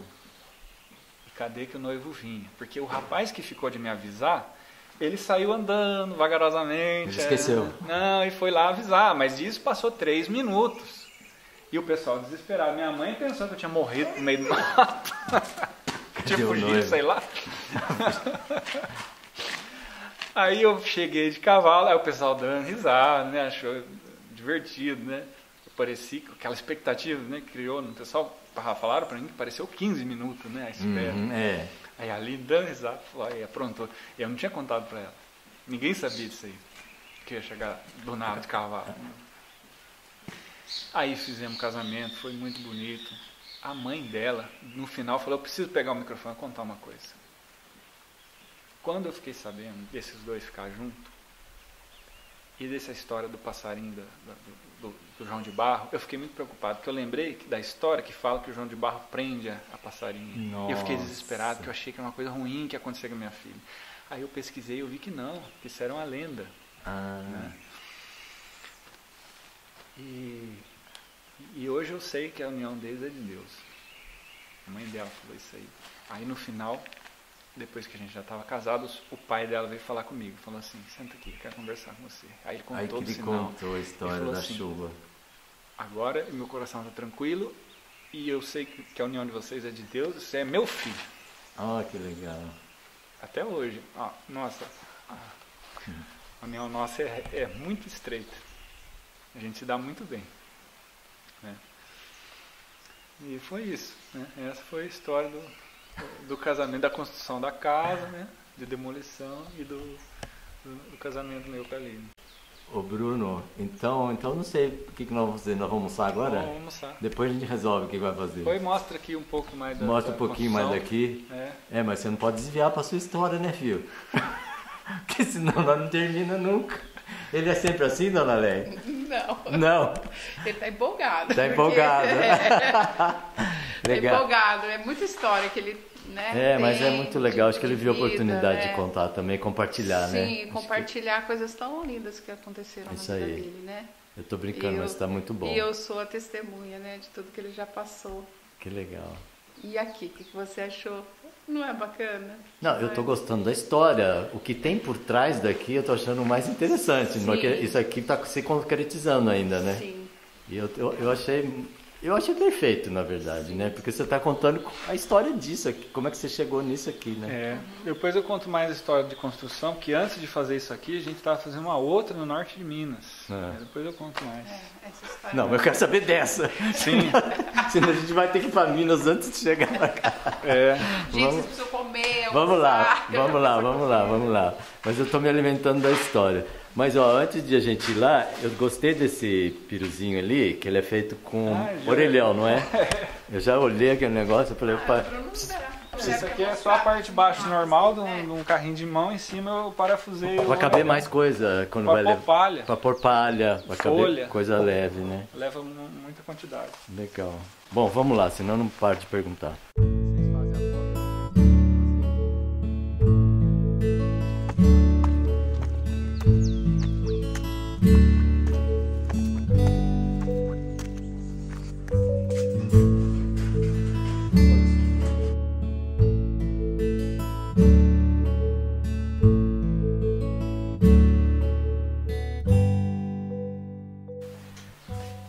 Nós vamos moer o trigo agora? Vamos ver. Então, mas o mais importante é que esse trigo foi plantado por vocês Foi aqui, né? plantado aqui. Cara, você- Batido no mangual, né? né, Que é, que é um pau assim com a corrente, né? Amarrado um outro pedaço de pau menorzinho. Você vai batendo ele na isso lona. vai descascar, né? Para descascar e ati- soltar ele da palha. Soltar Aí da depois palha. põe no ventilador, a palha voa e o trigo E o cai trigo no, no fica. caixote, que é esse aqui. E aí vocês guardam dentro dessa garrafa. Quanto tempo que tem esse trigo já? Mais de ano, acho que um. Tá aqui a, a data, 17 de setembro de... 20. Não, esse foi o que eu guardei Ah, recentemente. tá. Você Eu só tenho- embalou ele, né? Eu tenho mais velho que ele. Vocês não colocaram nada assim pra preservar aí dentro, tipo. Eu acho que minha mãe põe folha de louro Ah, com algumas coisas. Ó, esse aqui é de É tudo- 2020. 2000. Nossa, mas então é antigo esse. Então, Sim. É, Sim. 2020. Faz tempo que vocês plantaram. Foi na época da pandemia que nós plantamos. Mas não vai plantar mais? Vamos sim, Vai. vamos. Que legal. Ó, fiz pãozinho pra gente, ó. O quê? Aham. Nossa, que pão lindo. Isso é com farinha integral também? Essa aqui é, é pãozinho integral, mas não é com essa farinha. E agora eu vou ter que experimentar dois pães hoje. Ah, O sim. chapate do Bruno e o seu pão. Ah, É, o trigo ele é assim natural, ele tem um sabor bem diferente do trigo comprado. Mesmo que você compre o trigo integral no mercado, ele é um gosto diferente. Esse é mais forte, ele é mais saboroso. E também é moído agora, né? É diferente, É. né? Não tá oxidado ainda. Se dá. embaixo Seu. Bruno, então agora é com você. Então, essa aqui é a garrafa que minha mãe é, armazenou naquele sistema de, de vácuo, né? Isso. Aqui tem parafina, né? Que você passou. Tem. O sistema de vácuo Aí, acendeu ó. um fogo, Ó, saiu, saiu. saiu o ar. Ela, ela dura por anos, essa garrafa. Aí aqui foi com algodão num papel alumínio. Aí você põe fogo, ele tira o ar. Aí quando fechou, o, o fogo vai consumindo oxigênio até apagar. E, e vai encolhendo a Encolhendo. garrafa até às vezes, né?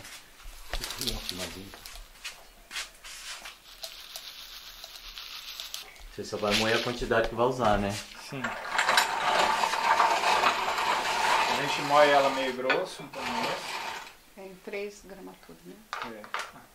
Ah, porque tem três ajustes aí? vai apertando aqui o, o moinho. Porque na- se for na primeira, na mais. fica ruim. Fica pesado para puxar ele. É. Olha,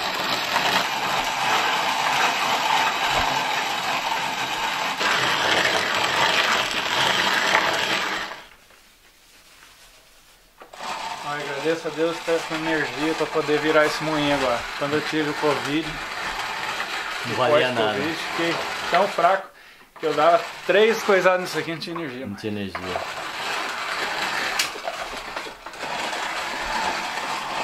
Mas você, Tinha vol... vontade de fazer as coisas e não podia. é. Mas você voltou ao normal, seu ou não? Tô normal, 100%. Tô 100%. melhor que antes. Melhor que antes.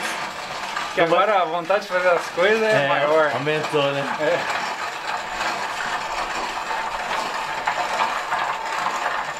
Queria agradecer muito a dona Fulvia, Dona Fúvia. é, de São Bento, que um dia ela veio comprar um chapate meu aí. E ela viu que eu tava descendo as escadas muito fraco, né? Ela falou, rapaz, jovem igual você, descendo escada desse jeito, o que, que você tem? Ah, eu tive Covid, fiquei muito fraco e tal. Ela falou, ah, sabe, eu tive câncer e eu recuperei do câncer com a receita de suco. Ela me ensinou suco de luz do sol, que é a receita com o, o girassol germinado, alguma verdura tipo couve ou é, a, Hora pronobis o pessoal tem usado. a foi escarola, Escarola. cenoura, a maçã, só que você tem que bater no liquidificador e coar no pano. Eu só tomava isso aí por um mês, não comia, só no suco, Ah, você não comia? nada. Mas recuperei a energia de um jeito fantástico. Foi muito rápida a, a recuperação. Olha só. E dali pra frente eu voltei a ter calor no corpo, eu não tinha calor no corpo. O corpo sempre gelado. Né? Aí eu comecei a ficar preocupado, né? Porque os remédios inclusive fez. E aí esse tratamento natural que ela me ensinou levantou. E Durante... ela curou do câncer, ela, ela teve câncer de mama, ela falou que curou só nesse tratamento, mesma coisa. Só tomando esse suco. Então, tem uma terapia que chama Gerson Therapy, terapia Sim, Gerson, é, que é base de parecido. sucos, né? Parecido com a terapia do, do Dr. Gerson. Isso. E Essa aí, quem fez foi um- uma pessoa ali do Instituto. Ela é uma médica, pesquisadora, do, daquele Instituto do Rio de Janeiro, que, que mexe com, com medicina, eu esqueci. Não é. Fiocruz. Fiocruz. Não é é, Fiocruz. se eu não me engano é o Fiocruz. Aí ela é pesquisadora e ela inventou essa receita aí e deu muito certo. Olha só. Talvez baseado também na terapia Gerson. Pode ser. E essa, essa terapia Gerson, eles têm um, uma centrífuga, centrífuga não, aquele processador É um processador, né? que parece que não oxida. É, é, é lento, né? É, ele pressiona, ele tudo. pressiona, é isso aí. É, é isso mesmo. Ela falou que esse é melhor, é melhor do que aquela centrífuga de Isso, suco que isso. destrói tudo no É. cliente e não aproveita muito. Então pode ser baseado mesmo na Gerson. Bom, Legal. então- Agora passa mais duas vezes, é isso? Então, agora, ó, você vê que os que ficou em cima tá mais fininhos, de baixo tá mais grosso, a gente tem que deixar tudo assim fininho. Tudo fininho. A gente joga de volta e aperta aqui. Dá uma apertada aí. É.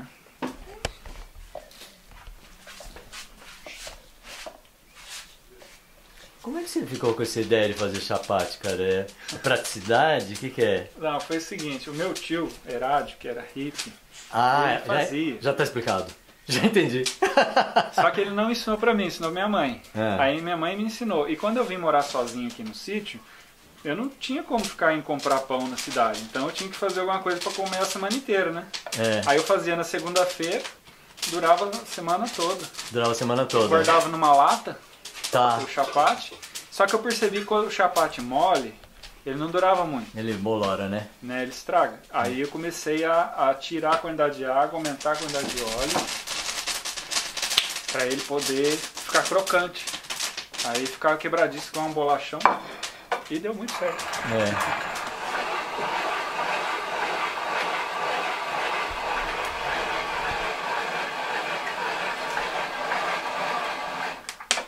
Ó, como já mudou. Já, já tá ficando mais É.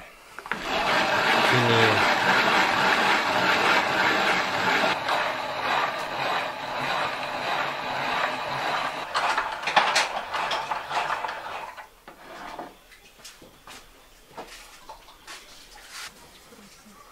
Sobe até o cheiro. É, né? Escuta, quando a gente tava ali no, no galpão que você tava fazendo ali o construção, tinha café secando ali? Não. Em algum lugar? Tinha o quê? Café. O Não. grão, não, porque eu tava Esse sentindo não- um cheiro de café ali. Ele não planta café. É, eu achei que podia. Será que não era do, Da madeira. da madeira? Tinha de cheiro forte no galpão? Você diz assim, não. Não, sabe café quando tá secando, café em coco? Hum. Tá secando? Pra depois você torrar ele, pra você descascar Não. e torrar, não? Não, não tem café aqui. O que eu tava fazendo lá era a baba do cacto, mas o cheiro não parece com café, não. É, depois eu vou voltar É. lá pra ver. Ok, agora você vai fazer o chapate. O, o Bruno, você já foi filmado antes? Não. Já. Já, né? Porque você é bem à vontade com a câmera. A sua mãe que fica fugindo. Ah, A gente começou, é, que tinha um canal, tem ainda, né? Jovens do Advento. Hum. Priscila, missionária, ela fazia esse negócio de entrevista, sabe? Então você já É. pegou o jeito. Aí a gente fez várias vezes.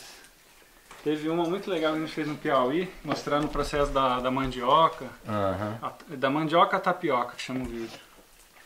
E lá a mandioca é a nossa mandioca brava, né? É, lá, se você falar, vou comer mandioca, você fala, vai morrer, Vai menino. morrer. Bom, e aí, como é que é o seu jeito? Ah, você faz assim? Caramba. Ah, aqui é só Ah, é, tá. farinhado, né? Farinhar mesmo.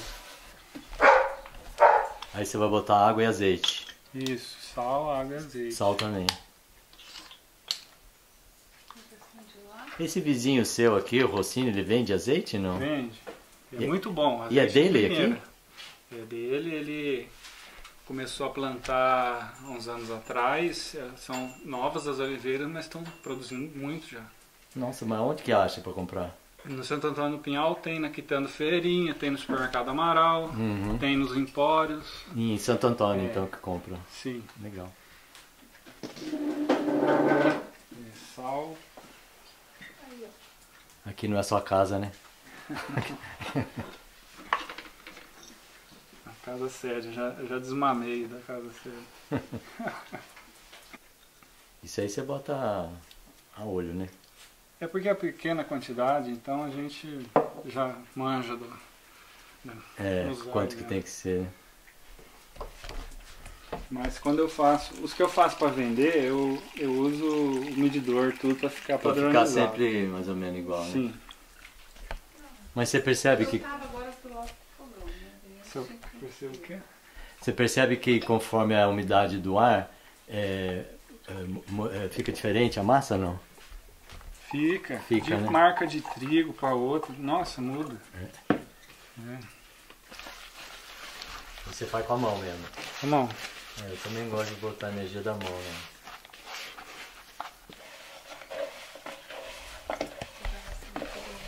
É assim, esse aqui é o alimento feito de trigo, acho que é o mais rápido que tem, né?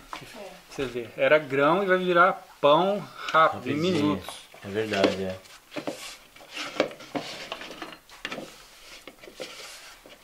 Eu já comi é, grão de trigo tostado, é bom também. Você pega o grão direto, põe na frigideira assim. Então, até já fiz um vídeo com aquela menina Drica na cozinha, que fica andando uma Kombi. Ela, ela pega o trigo sarraceno e passa assim na frigideira e fica tostado. Aham. Ele fica crocante, dá pra você comer também, cara. Ou será É. que o trigo comum também fica, não? Fica, Ele for, se você der uma tostada fica nele, crocante. fica- dá pra É. comer sem quebrar o dente. Dá, dá pra comer, mastigar. Mastigar. Olha que legal. É. Até o fubá, o fubá nordestino, que eu, Ah, que eu aprendi, ele não é só descanjicado moído. Você pega o grão inteiro e passa numa chapa e deixa ele tostar, mas não ficar preto. Sim, Aí depois você passa no moinho, no moinho ou no pilão. ou no pilão. É. No caso a gente tem o, o moinho de mão, e a gente passou nesse moinho aí mesmo, de trigo. Oh, vai dar bastante chapate. Você falou que ia dar menos que quatro? É. Aí, mas, ó, que tamanho que é a frigideira lá? É pequeno. Pequeno, então tem que ser assim mesmo, É pequenininho. porque o, o que ele faz O que eu faço é grande. Ah, o que você faço faz é. gra- Ah, por isso que você É falou que assim. dá menos, tá? É, e- E você já bateu essa, o trigo no liquidificador? Dá certo ou não? Não, o liquidificador não tem potência. Pra- Não. Vamos ver. Não quebra o trigo, quebra a Quebra a lâmina. Quebra esse. É igual jogar pedra lá dentro. E o seu Oswaldo vai pro TikTok ou vai pro Instagram? Ou é Pra face... rede. Vai pra rede. A diferença desse aqui para abrir é pouca. Ele tem um pouco menos de liga que o trigo comprado, né? Por que será, você fala? Por que você acha? Porque a moagem que, se é, que é feita industrial é diferente, né? Será que tira mais glúten daí? Provavelmente. É. Não sei. Não, na verdade o glúten é o que faz a liga. É, Acho então. ele tira mais Não, o, tira, o quer dizer- germe e a casca, né? Não, mas eu digo assim, tira mais, ele eh, solta mais, né? Do, do grão. Ah, sim. Você quer que eu ponha lá já e vá assando, Bruno? Ou você quer assar? Pode ir assando. Ah, mas eu quero ver o primeiro, eu quero ver entrar lá pra frigideira. Tem temperatura? Bota óleo, não bota óleo? Não, não põe óleo. Deixa eu, pe- deixa eu ver, deixa eu ver, deixa eu ver, deixa eu ver. Acho que não vai caber, né? Deixa eu ajeitar ela aqui. Eu acho que isso aí era bom. Esperar esquentar um pouco essa chapa tá, aí, né? já tá quente. Já tá bem quente, ó. Tem que estar bem quentinha? Tem que estar É, bem quente. é, tem as duas formas de fazer. Se você quiser que ele dê bolha, né? Não é o caso do integral. O branco é o que costuma Que dá mais, né? inflar mais. Esse aqui dá bem pouquinho. Você põe no fogo aqui. Tira aqui com a espátula aqui. Bota no fogo ele infla na hora. Ah, é? É. Pera aí, tira de- quando ele tá quase pronto, Você vê ele subindo as bolhas aqui, você tira e... você tira e bota aqui no fogo aí ele fica infladão. Assim. Às vezes descola tudo, fica grandão. Assim. Tá, descola um, um lado do É. outro. Assim. Ah, então é mais temperatura, ele descola. É, e quando é temperatura baixa, aí ele vira um bolachão. Fica crocante. Tá certo. Ah, isso eu gostei de saber, porque já aconteceu comigo várias vezes, eu não sabia por que que acontecia. Então, quando tem alta temperatura. Então eu tenho um chá que eu não conheço. Ó, aqui já começou a fazer umas bolhas. Então, quando fala na Bíblia pão ázimo, não é isso aí? É, é isso aqui. É isso aí, né? Então, mas você não começou a fazer por causa da Bíblia, foi por causa do seu tio. Foi por causa da minha mãe, na verdade, que me ensinou. É, mas, mas- o meu tio que ensinou ela. É. Eu fazia muito isso aí. Quando a gente ia pro meio do mato, ficava lá uns dias, né? Ah, que legal. Ó, Bruno, Começou a fazer umas bolhas aqui. Ah, tem que esperar, né? Sair um pra colocar o outro. Tem um outro, uma outra panela aqui, ó, Bruno. Se você quiser colocar. Mesmo assim tá grande, né? Tá, É, tá, grande. Tá muito o certo grande. é fazer um pouquinho menor pra ficar certinho, né? Porque lá como ele faz na chapa é diferente, É, né? é outro tamanho. É um outro tamanho. E, e lá em Santo Antônio você vende isso aqui, em- não é em padaria, né? Só na quitanda do Ferreirinho. Por quê? Antes eu fazia mais dias na semana. Como eu estou construindo a casa dos missionários, eu só faço isso por meio período por semana. Então eu pego a sexta-feira de manhã E faz. e faço 20 pacotes. Embala. de cada um, embalo e levo lá na quitanda do, do Ferreirinho. Então quem quiser comprar, tem aqui tanto Tem na quitanda do Ferreirinho, que fica ali perto da Praça do Artesão. É a praça japonesa que chamam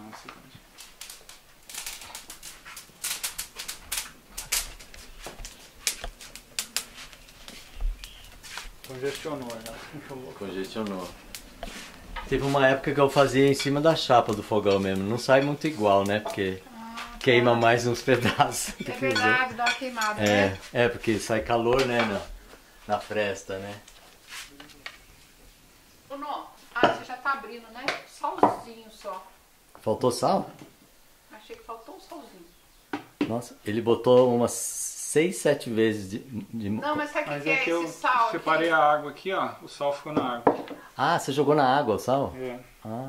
Na verdade, o sal daqui, é- esse sal... É que a gente não usa sal Então você não comprado. botou a. Esse sal é, é do Cabo Frio. É, ele é diferente. trazem Cabo Frio? É. Compra saco lá, o homem pega da pá lá, joga no saco, você compra lá. Sem refinar nada. Sem refinar, sem nada. Mas como vocês conseguem comprar isso aí? Você tem que ir assim, é, Saquarema, Araruama. Ah, vocês vão lá comprar? Sim.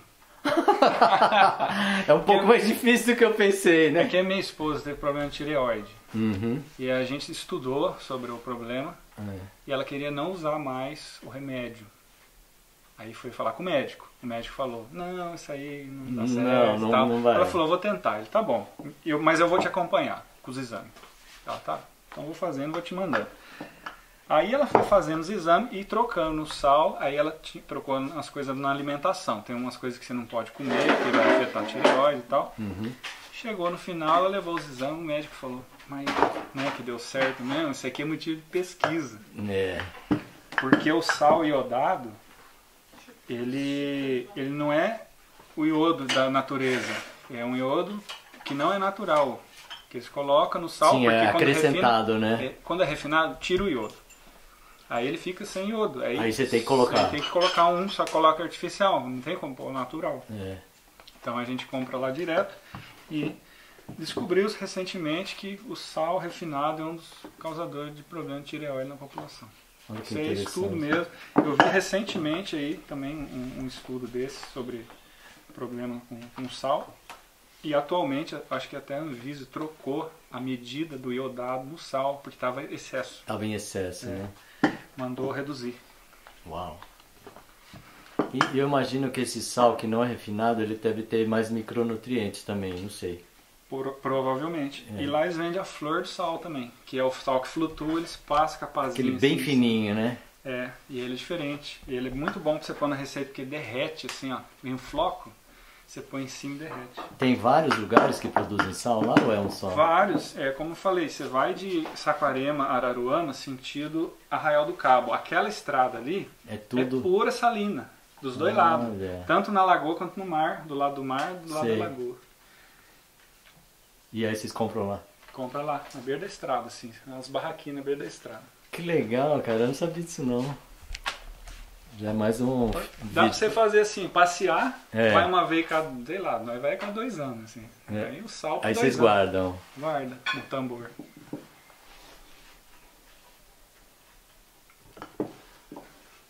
E aí, e é isso, ele salga menos.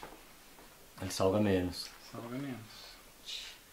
Então, você já fez bem fininho, que parece um papel, assim? Já. É que no caso do, do Do trigo trigo integral. ele, Ele É, quebra mais, mas, né? Você está vendo que, que ele, aqui as bordas já começam a trincar, né? É. Aí se for afinando demais, ó, vamos, vamos Ele mostrar arrebenta, ele arrebenta, né?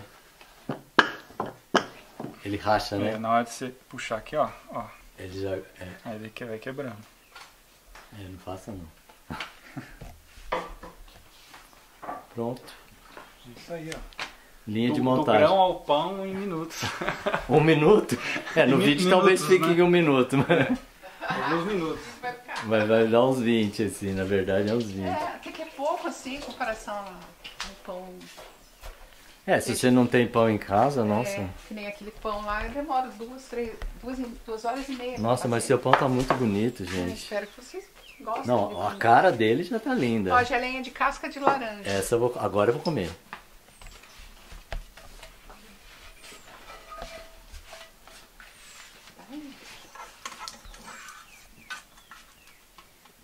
Mas pra chegar, a gente aprender tudo isso, foi tempo, né, Bruno? Ah, sim. Você Todas chegar. as coisas da roça são trabalhosas, né? Você não, você não aprende do dia pra noite, né? Hum, É muito exercício, É um- erro, é um muito longo erro. estágio, né? É, a gente erra pra caramba, mas é legal depois que você consegue, né? Tem Acerta, aprender fala. na escola essas coisas. É. Né? Ah, Dá e aula pras crianças. eu isso. tenho certeza, cara. A escola É, verdadeira sobre- tinha que ensinar isso como Acho que a planta. agricultura, todo mundo come, mas nem todo mundo planta. Então, a pessoa que, que come todos os dias tem que saber de onde vem o alimento, É, dar valor, né? faz. Saber que o agricultor é um dos, das peças mais importantes da, do- da orquestra do mundo. Falou o Taurino. É verdade. Ou- Outra coisa que acho que é importante é saber construir, cara. É. Eu acho que as crianças podiam saber construir uma, uma casa, é. né? Nem que fosse de brincadeira, né? Uhum. É, Eu gostava de fazer cálculo das coisas nessas épocas aí de, adolescência para idade adulta. Um dia eu fui fazer o cálculo para ver quanto que ia ficar uma casa para pagar na. Ah, você, você chegava até o custo. É, eu, eu fiz o cálculo, falei, o que, que eu vou precisar? Porque eu calculei, ó, eu trabalho, né, tanto, ganho tanto por mês, para mim ter uma casa que custa tanto, vou fazer esses cálculos, né? Eu falei, ah, é inviável comprar uma casa, pagar 30 anos na caixa. É. Falei, eu vou ter que fazer a minha casa, porque daí eu fico dois anos fazendo, trabalhando e fazendo. Ah, é mais barato. Quer dizer, sai mais em conta se E o você resto fizer. da vida eu vou ficar livre dessa dívida. né? Ao invés de ficar escravo ali 30 anos pagando uma casa. Tá certo. Né? E a, a bioconstrução, ela, ela dá essa liberdade de você não se endividar.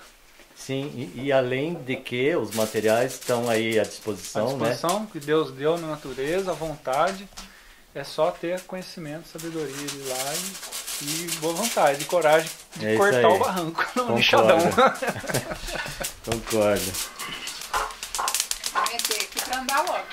Eu vi, escutei o barulhinho da garra do Pinheiro. Isso aí é igual gasolina. Vai pôr mais. Ah, põe pra mim, por favor. Bom, vamos experimentar isso aqui? Geleia de casca de laranja. É que fez, né? Isso. O que, que é isso aqui? Eu falei que Aqui essa minha esposa fez, Aline. Romos? É. Gente, mas é outro almoço isso então.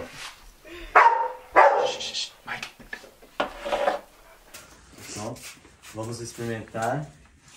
Aí eu vou pegar já até manteiga. É, manteiga de De verdade, verdade. pão de verdade, chapate de verdade. Esse aqui eu não sei. O que é isso aqui? É romos, é grão de Grão de bico, bico com com tahine. limão, Então é limão verdade. daqui. Tudo de verdade, gente. De verdade, gente. Ah, o chá também é de verdade. Também é. Você vai tomar também? Eu vou tomar. Posso servir você?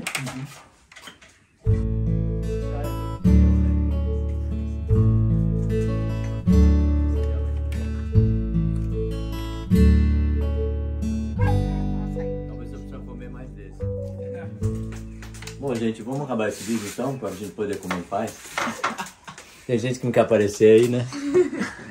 Então eu quero agradecer o Bruno por ter dado seu tempo, contado sua história. E olha que é, a gente tem que dar continuidade nessa história, né? tem, tem pano Vamos, pra né? manga. Tem pano pra manga. E agradecer a dona Leia. Leia, obrigado por ter feito essa comida maravilhosa. Prazer. E o Oswaldo, né? Oswaldo também não apareceu. É, Ela não quer aparecer, né, ali? Obrigado, Oswaldo. Obrigado a você. Tá joia. Da próxima vez eu quero ver se eu entrevisto você e a Leia. Tá bom? Leia, obrigado. Até a próxima.